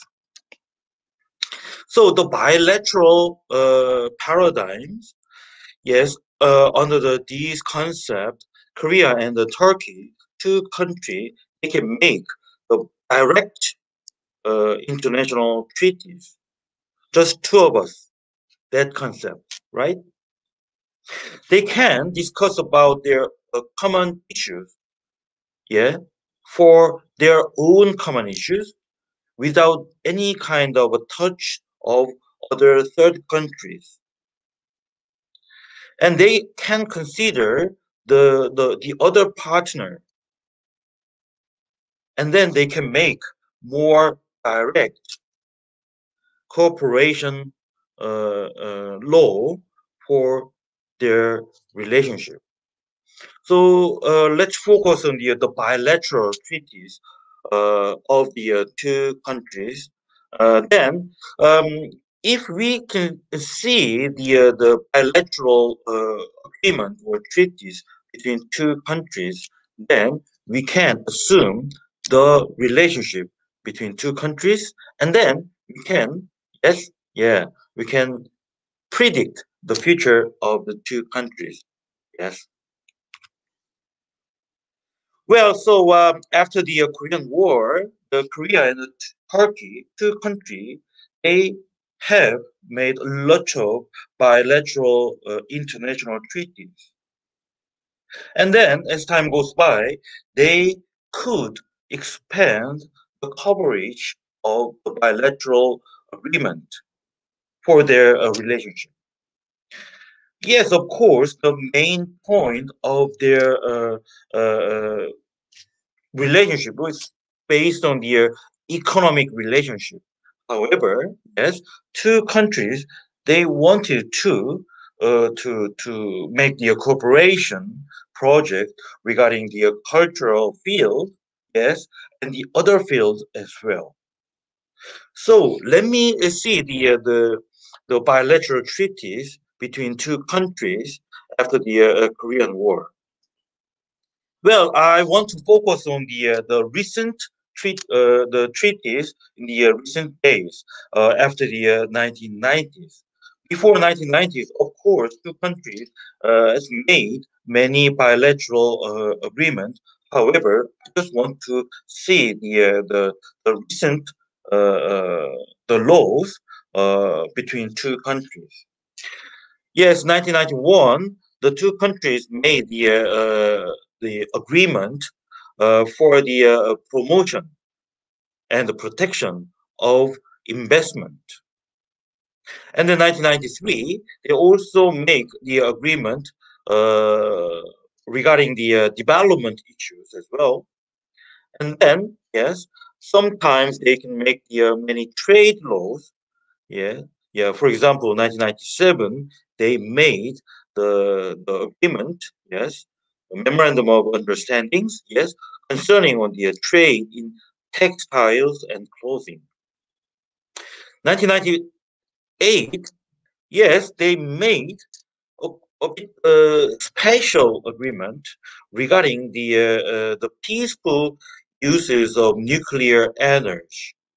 Yes, this is the very specific uh, field and the two countries they make the cooperation field and they expand actually the cooperation field in the uh, the nuclear energy areas as well. From 2000 and uh, 2010s, yes, they made many laws. Basically, uh, those days, two countries are more focused on the uh, trade and economic issues. Yes. So, um, mm, yes, um, in 2010, they made uh, a bilateral agreement regarding the, uh, the cooperation and mutual assistance in customs matters. And yes, uh, we may know that um, the FTA, yeah, Korea and Turk, uh, they made a free trade agreement, right? Yeah. So uh, during the uh, 2010 and 2015, those days, uh, the Korean government and the Turkish government, they uh, developed the FTA uh, rules step by step and they made a kind of a package of the uh, FTA rules for their trade issues. So uh, these um, mm, this slide is about the uh, the mainly about the uh, the agreement uh, regarding the uh, investment issues and the trade in goods and the trade in services and the other related issues as well. However, let me focus on the uh, other types of the uh, agreement regarding social security issues. Yes, 2012, uh, two governments make the uh, bilateral agreement on the uh, the cooperation regarding the social security issues. It is very special. Yes, we'll talk about the uh, that point later. So I want to characterize the bilateral uh, treaties of two countries uh, based on the uh, the topics by topics for the cooperation. Okay, as, yeah, uh, as I said before, okay, oh, there must be something wrong. Yes, okay, yes, um, yeah, in the uh, yeah, trade and economic cooperation, it is the main target of their cooperation. Uh, so uh, from the early days, uh, the two countries, two governments, they have developed the trade and economic cooperation issues, and they also made many uh, agreement, bilateral agreement, uh, for the uh, this field. So um, the this slide is about the the agreement on the trade issues. Okay, let me uh, move on to the uh, uh, field. Yes. Um, yeah. Uh, yeah. Even in the uh, 2012, 2015, and 2018, yes, they uh, improved their trade rules. Yes, based on the concept of FTAs. So I want to uh, to be more focused on the uh, FTA issues. So uh, from the 2012 to 2015 and even 2018, Korea and Turkish government, two government, they made a kind of package of international law regarding free trade agreement situation. Yeah, mainly uh, the FTA consists of the uh, four mainstream uh, agreement: framework agreement, agreement on trade in goods, and agreement on investment issues, and agreement on the trade in services. So this total package of the free trade agreement rules uh, can be a, a, kind of a legal tools for the freer trade situation for the two countries. Nowadays, yes, the two countries' businessmen and the companies they are expanding the trade volume and the economic cooperation, not just for the uh, economic and the trade issues. Yes, of course, this is the, about the uh, trade and economic issues. However, the FTA can make yeah, legal functions on the other indirect issues on the non-trade, non-economic issues as well. Yes, uh, I made the one examples on the uh, cultural corporations. The cultural agreement between two countries, yes, uh, in 2013, the two countries uh, for the promotion or and the facilitation of the cultural and the intellectual exchanges, yes, for that purpose, the two countries made a bilateral agreement. Yes, uh, Article 3 of this agreement uh, provided the cooperation field, yes, like this one.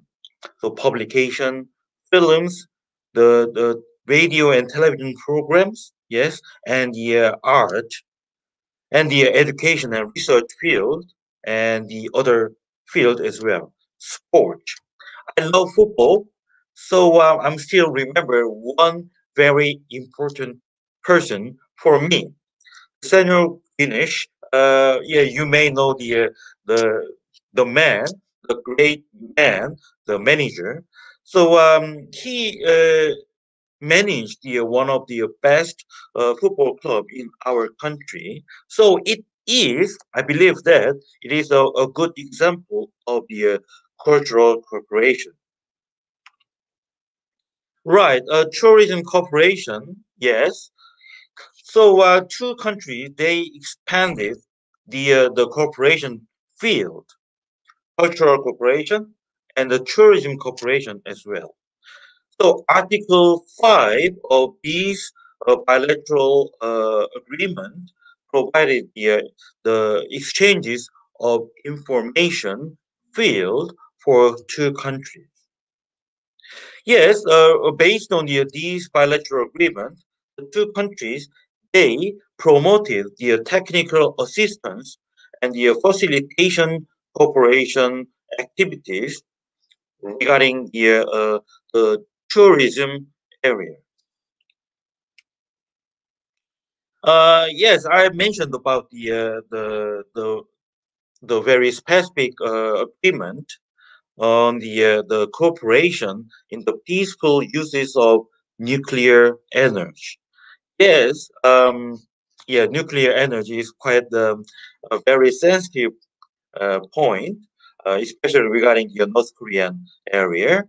So, uh, but the uh, Turkish government and the Korean government, uh, long times ago in 1998, yes, long times ago, they already made the cooperation rules. So, Article 2 of these bilateral agreements provide the, uh, the cooperation areas regarding nuclear energy.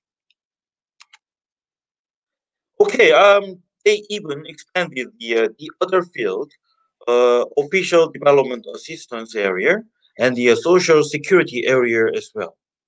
So, for example, uh, 2012, yeah, 2012, uh, the two governments made established the bilateral agreement on the social security issues. So, based on the, these bilateral rules, two countries can cooperate regarding the uh, social security areas, such as national pensions, employment uh, insurance, and the national health service, industrial accident compensation uh, issues as well. So, uh, two citizens, uh, two countries' citizens, they can share some ways of these social security protection um, system, right? So um, when we see the these rules, we can understand the, uh, um, the expansion of the cooperation area. So yes, from now, when we see the, these rules, we can predict the future of the cooperation between two countries. Well, yes, of course, two countries will expand their cooperation area for the future. And I hope that young generation, I mean the next generation, they will make further deeper cooperation rather than our generation. Okay, thank you very much.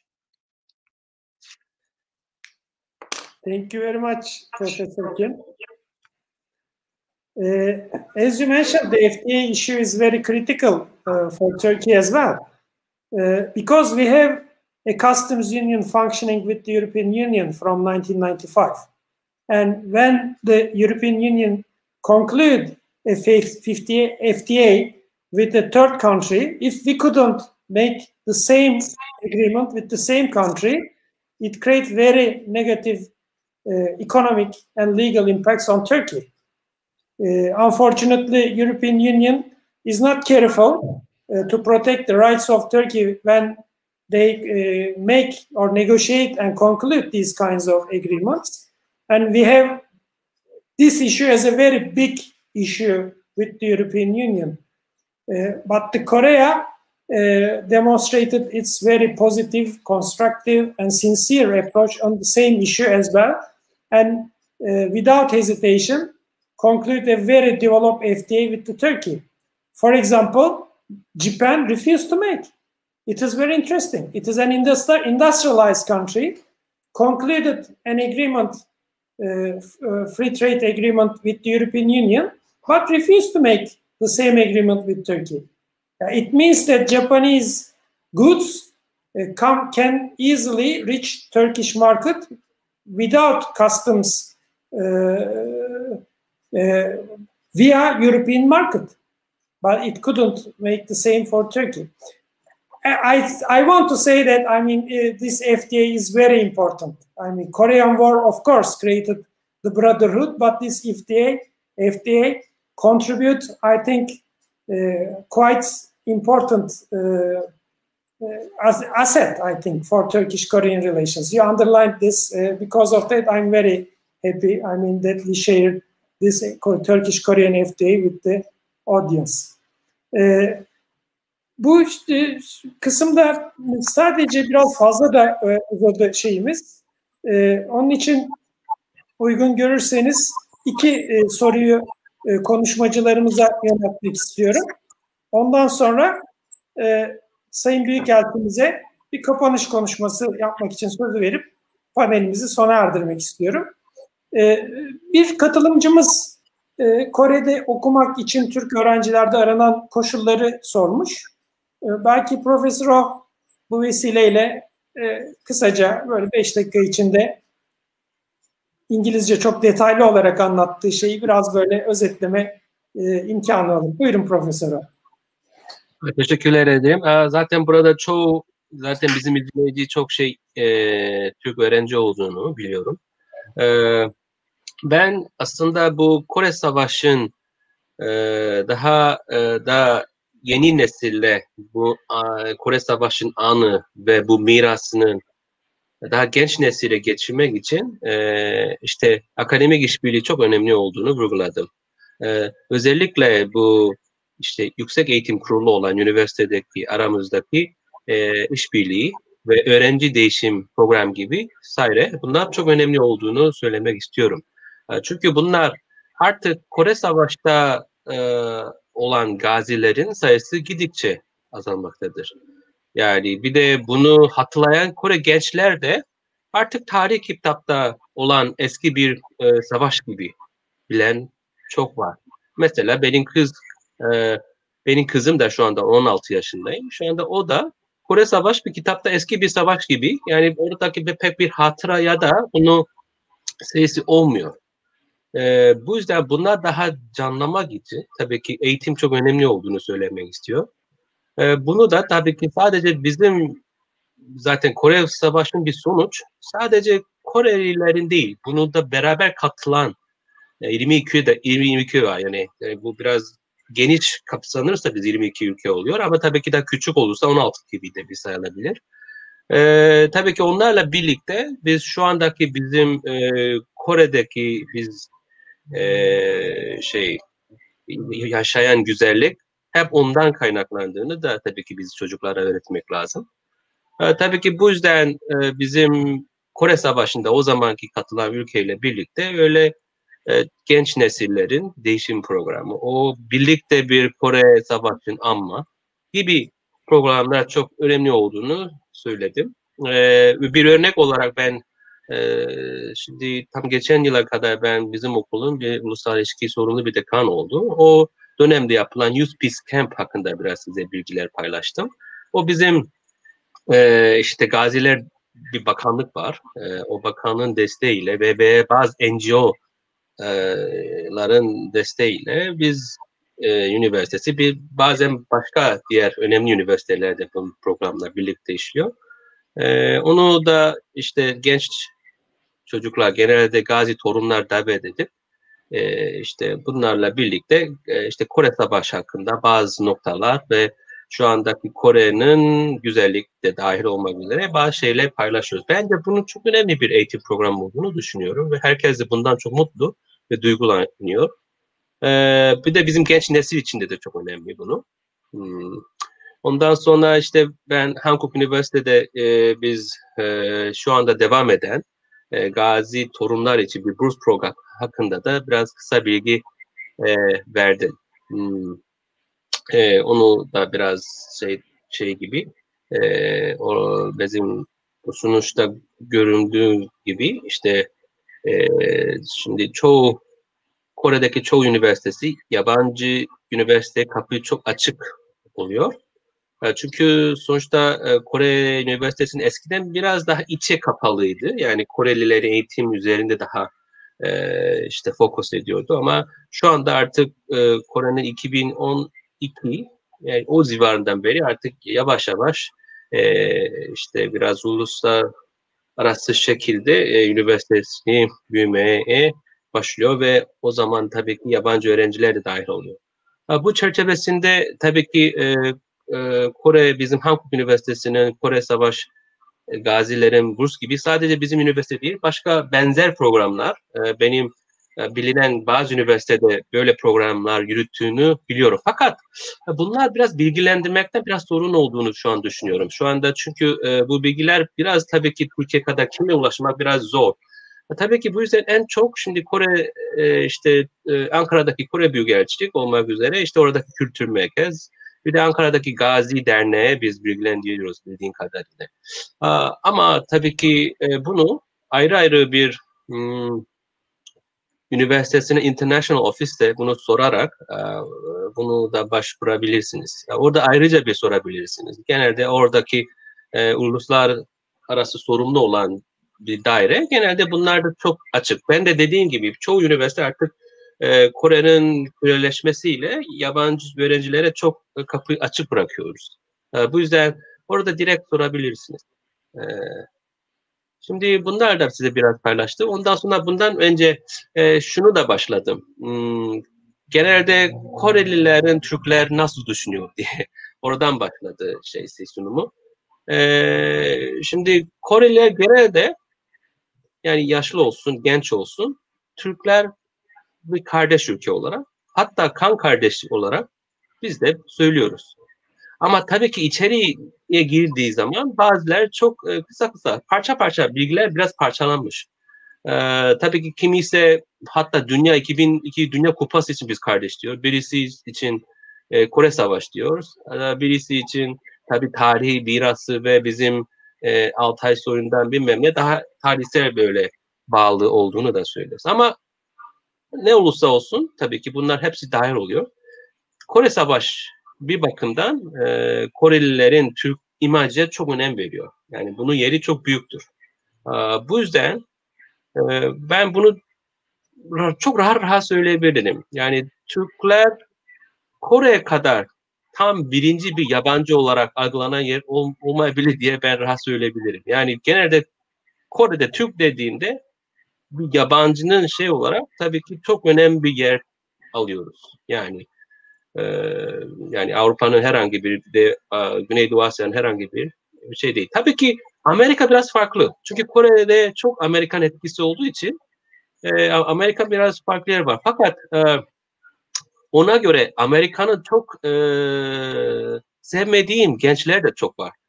Ben bunu da söylemek istiyorum. E, Kore Amerika ile ne kadar yakın olsa da siyasi ve ekonomi ve vesaire çok yakın olsa da ancak 2012'de Amerikan Cumhurbaşkanı ilk kere bizim Hankook Üniversitesi'ne geldi. İlk kere e, Kore Üniversitesi'de bir e, şey e, konuşma yaptı. Bunun sebebi ise ne kadar Kore Amerika yakın olsa da gençler arasındaki anti-Amerikanizm de o kadar büyüktür. Fakat Türkiye için böyle bir şey yok. Yani anti-Türkizm, anti-Türk böyle bir yok. Yani bir genel olarak Türk dediğinde e, herkes genç, yaşlı, genel imajlar çok güzel olduğunu e, rahat rahat söyleyebilirim. Bence bunlardan biraz Türkler faydalanabilir. Yani bir de e, Kore'ye kadar Türkler için kapıyı açık olan bir yerde yoktur. E, tabii ki şu anda m, mesafe biraz uzaktayız. E, hatta bu koronadan dolayı bu uçak sefer de çok azaltıyor. E, bu yüzden tabii ki biraz zor ama inşallah biz yakın zamanda daha korona durumu bitirip daha sık sık böyle e, gidip gelen bir ülke olup daha yakınlaşmak gerektiğini söylemek istiyorum. Ha, tamam, sözüm bu kadar. Çok teşekkür ederiz. Çok teşekkür ederiz. Ee, bu sizin programı aslında inşallah şu pandemiden kurtulduktan sonra e, Ankara Üniversitesi'nin Side'de e, bir şeyi var, tesisi var. E, yani Antalya'nın batısında, deniz kıyısında. Çok güzel bir tesis. E, Hankook Üniversitesi ile beraber e, Hankook Üniversitesi öğrencileriyle Ankara Üniversitesi öğrencilerinin bir yaz kampı şeklinde de yapmayı planlayabiliriz. Tabii ki hocam, Çınar hocam. Bu da çok büyük. Bence de e, bir de hatta bizim e, Hankook Üniversitede biz e, şey e, e, Batı sahilde Ankara Üniversitesi'nin benzer bir tesis de var. Bu tabii ki biz ileride Sayın bizim büyük elçimizle birlikte inşallah böyle bir ortak güzel bir kamp yani öğrencilerle biraz kültürel ve din, dilsel bir şey olabilir, olabileceğini düşünüyorum.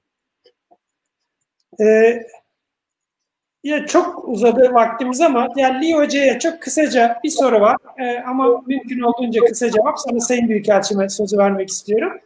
Yani Türkiye'de e, Kore Savaşı ile ilgili bilimler ve Kore imajını e, çok güzel anlattı hocamız diyor bir katılımcımız. Peki Kore'de çekilen filmlerde Kore Savaşı'nda Türklerle ilgili var mı acaba diyor. Sayın Hoca maalesef yok. Aslında siz de biliyorsunuz bu Ayla filmi Türkiye-Kore ortak yapımı ama bu Kore'de pek e, duyulmadı. Türkiye'de acaba Türkleri biliyor mu bunun Kore-Türkiye ortak yapımı olduğunu biliyor mu? Evet. Çok bilinmiyor Türk filmi evet, olarak. E, o da bu reklam sorunu büyük. O zaman biri de ben 5 e, sene önce e, Erciyes Üniversitesi Kore Dili ve Edebiyatı bölümü var hocam. E, oraya gittiğinde bu konu üzerinde ve orada bir konuşma yapmıştım. Kore'de çok Kore Savaşı ile ilgili çok çok meşhur bir film var hocam. O filmde e, hiçbir Türk çıkmıyor. Ya biz Kore'de Kore Savaşı üzerinde e, film çekiyoruz ama orada ne Türk var ne Amerikalı var. Yani Kore Savaşı'na katılan diğer ülkelerin askerleri çoğu görünmüyor hocam. Daha evet. çok Korelilere, Kuzey Koreli ve Güney Koreli arasında geçen hikayeler e, vizyona yansıtılıyor maalesef hocam. Aslında bu konuyu da daha ciddi olarak bir çalışma gerektiğini düşünüyorum hocam. Çok teşekkür ederiz. Çok teşekkür ederiz diye hocam. Sayın Büyükelçim 2 saat 41 dakikalık bir yayına ulaştık. Siz de çok meşgul olduğunuzu biliyorum. Türkiye Cumhuriyeti'nin Kore Cumhuriyeti'ndeki temsilcimizsiniz. Çok yoğunsunuz. Vakit ayırdınız. Bütün toplantıyı başından sonuna kadar dinlediniz. Zaten bu toplantı siz olmasanız hiçbir şekilde yapılamazdı. Çok önemli e, bir bence e, ilk toplantı oldu. Hem teknik imkan kullanma itibariyle hem de Hankook Üniversitesi ile ilk defa bu kadar daha yakınlaştık. Öncelikle size çok teşekkür ediyorum. E, ve e, kapanış konuşmasını yapmak, belki biraz da burada söylenenleri toparlayıp e, bir sonuca bağlamak için sözü size bırakıyorum. Buyurun Sayın Büyükelçim.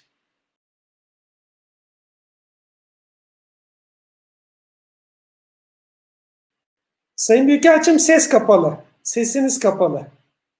Sayın Büyükelçim ses kapalı. Teşekkür ederim Sayın Hocam. Ee, Kore'de 70. yılı anma etkinlikleri e, 12 aydan beri sürüyor. Ee, Cumhurbaşkanı Moon'un da katıldığı e, anma etkinlikleri başta olmak üzere e, belki onun üzerinde etkinliğe katıldım. E, ve Türkiye'ye ve Türkiye'nin temsilcisi olarak bana özel itibar gösterildi. Bununla da gurur duydum. Ee, benim mezun olduğum, 40 yıl önce mezun olduğum okulun e, Türkiye'de e, 70. yıl e, etkinliğine imza atmış olması, e, bu da ayrıca benim için büyük bir gurur vesilesi oldu. E, 40 yıl sonra e, okulumun düzenlediği bir toplantıya katıldım. E, şimdi e, toplantıda e, hem Kore Savaşı ile ilgili olarak hem de Türk-Kore ilişkileriyle ilgili olarak e, siyasi, hukuki, ekonomik ve sanatsal değerlendirmeler yapıldı. Her biri e, çok kıymetli katkılar. Ancak ben birkaç şeye burada büyükelçi olarak yaptığım gözlemlere dayanarak 70. yıldaki birkaç şeye e, dikkat çekmek istiyorum. E, kardeşlik e, ve kan kardeşliği sadece 21 katılımcı ülke arasında bize e, yakıştırılan bir sıfat. Bu tabii ki gurur verici. Ancak o hocanın söylediği gibi e, yavaş yavaş gençlerin e, bu konuyu artık bilmedikleri, e, eski nesiller, dönemi hatırlayan nesiller geride kaldıkça kardeşlik fikrinin zayıfladığını görüyoruz. Tabii ki bu bağlamda akademik işbirliği çok önemli. Bu bağlamda e, Üniversitesi'ne de ayrıca teşekkür etmemiz gerekir. Çünkü Hankook Üniversitesi Büyükelçiliğimizin en fazla, en yakın ilişkide bulunduğu ve e, Yunus Emre Enstitüsü'ne de ev sahipliği e, yapan bir üniversite. E, yine bu yıl kendileriyle bir protokol imzalayarak e, Hankook'un, e, Hankook Üniversitesi'nden 6 öğrencinin 6 aylık, 6 ay süre ile Bursa'da e, staj yapmalarına bir kere e, imkan tanındı. Ayrıca Türkiye'den bir e, tam burslu öğrenciyi de Hankook Üniversitesi e, eğitimini karşılayacak öğrencimiz önümüzdeki sömestr Hankook'a gidecek. Hankook Üniversitesi başta olmak üzere diğer bütün üniversitelerle bizim üniversitelerimiz arasında e, işbirliği yapılması e, büyük önem taşıyor. Bu işbirliğinin artırılması gerekir. Ben Kore üniversitelerinde sıkça konferanslar veriyorum. Öğrencilere soruyorum. Arkadaşlar neden Türkler kardeş? Bunun e, cevabı giderek zayıflıyor ve azalıyor. Bu kardeşlik bağını canlı tutmamız lazım. İkinci husus e, maalesef Kore basını ve Kore e, Türkiye'yi yakından izlemeyen Koreli entelektüeller ve öğretim üyeleri maalesef e, Türkiye'ye Batı optiğinden e, bakmayı tercih ediyorlar. En son olarak e, bir yıldan beri benim gözlemlerim gerek Suriye'deki Barış Pınarı Harekatımızda gerek Doğu Akdeniz'deki e, e, kıta sahanlığı ve e, enerji ve gaz aramalarımızda gerekse son olarak Azerbaycan-Ermenistan savaşı ile ilgili olarak basında yer alan haberlerin yüzde 99'u değil yüzde yüzü batı kaynaklıydı. E, kimileri benim makalelerimi yayınlamayı reddettiler. Bazı televizyon ve radyo kanallarına çıkarak e, bizim açımızdan olayların nasıl olduğunu e, o, e, şeyin e, nedir e, meselelerin diğer yüzü olduğunu anlatmaya çalıştım. Ama Kore'de maalesef Profesör O gayet güzel söyledi. Amerikan etkisi e, bize yönelik bakış açısını da zaman zaman olumsuz etkiliyor. Bu açıdan e, büyükelçilik olarak çalışıyoruz ama yine de e, daha fazlasının yapılmasına ihtiyaç var. Türkiye-Kore ilişkilerinin e, zehirleyen e, bir unsura da ben bu vesileyle dikkat çekmek istiyorum. E, ikili mükemmel olarak nitele, nitelendirdiğimiz ikili siyasi ilişkilerimizi e, zehirleyen tek unsur ülkedeki FETÖ varlığı. Maalesef burada e, kültür merkezi, restoranlar ve ticari kuruluşlarla e, faaliyet göstermelerine izin ver, verilen e, FETÖ'cü hainler e, sosyal medyadaki etkinlikleriyle ülkemize karşı bir e, nefret kampanyasının da öncülüğünü yapıyorlar. Yine ülkemizin dış olaylarında bazı FETÖ'cü yazarlara e, basında yer verilmesi ve ülkemiz aleyhindeki argümanların e, dillendirilmesi de beni büyükelçi olarak üzen, Türk-Kore ilişkilerini de e, zedeleyen e, hususlar. Hocam e, size de özellikle e, bir konuda e, bir hususu belirtmek istiyorum. E, Türkiye ile Kore arasında 2012 yılında imzalanan ve bilahare e, yürürlüğe giren e, serbest ticaret anlaşması gerçekten önemli. Ancak aleyhimize çalışıyor. E, gün itibariyle e, bugün bu bu sene itibariyle 7,5 milyar dolarlık ticaret açığımız 2012'den e, 7,5 milyar dolarlık toplam ticaretimizin 6,5 milyar doları Kore'nin ihracatlarından oluşuyor. Ve 2012'den bu yana bu büyük açığı gideremiyoruz. Avrupa Kore e, hükümetinin Avrupa Birliği'ne ve Amerika'ya tanıdığı tarım konusundaki ayrıcalıklardan faydalanamıyoruz. Bu vesileyle bu e, sıkıntıyı da dikkate getirmiş olayım. E, maalesef aceleye getirilmiş bir anlaşma son derece e, aleyhimize çalışıyor şu anda. Gözden geçirilmesi dahil bütün opsiyonları da açık tutuyoruz. Ama tabii ki önemi hususunda sizinle e, hem fikrim.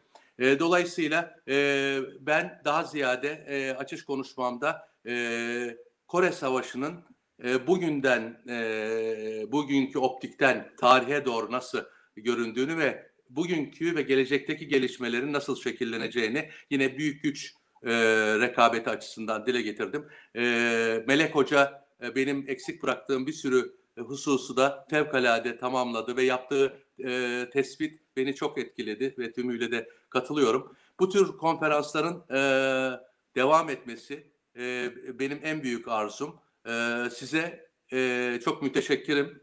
E, böyle bir e, çevrim içi e, konferansı gerçekleştirmesine de e, ön ayak olduğunuz e, ve e, beraber çalıştığımız için inşallah önümüzdeki dönemde de yine bu tür konferanslarda bir araya geliriz. Bütün hocalarıma ve öğrencilere selam, sevgi ve saygılarımı sunuyorum Seul'den. Sayın Büyükelçim e, saygı bizden. E, bu bahsettiğiniz eksiklikleri gidermek için Kore'de bu tür teknolojileri kullanarak her zaman için göreve hazırız. Her türlü organizasyonunuzda e, Türk dış politikasını anlatmak üzere her türlü vereceğiniz göreve hazırız. Önce onu söylemek isterim. Bir teşekkür de e, o hocanın asistanı e, Jiseon'a gerçekten o dediği gibi şimdi 2 saat 50 dakika oldu. Jiseon e, 2 saat 50 dakikadır tercüme yapıyor. Yani şimdi herkesi e, sahneye davet ediyorum. Bir Jiseon'a e, mümkünse şöyle bir alkışlayalım.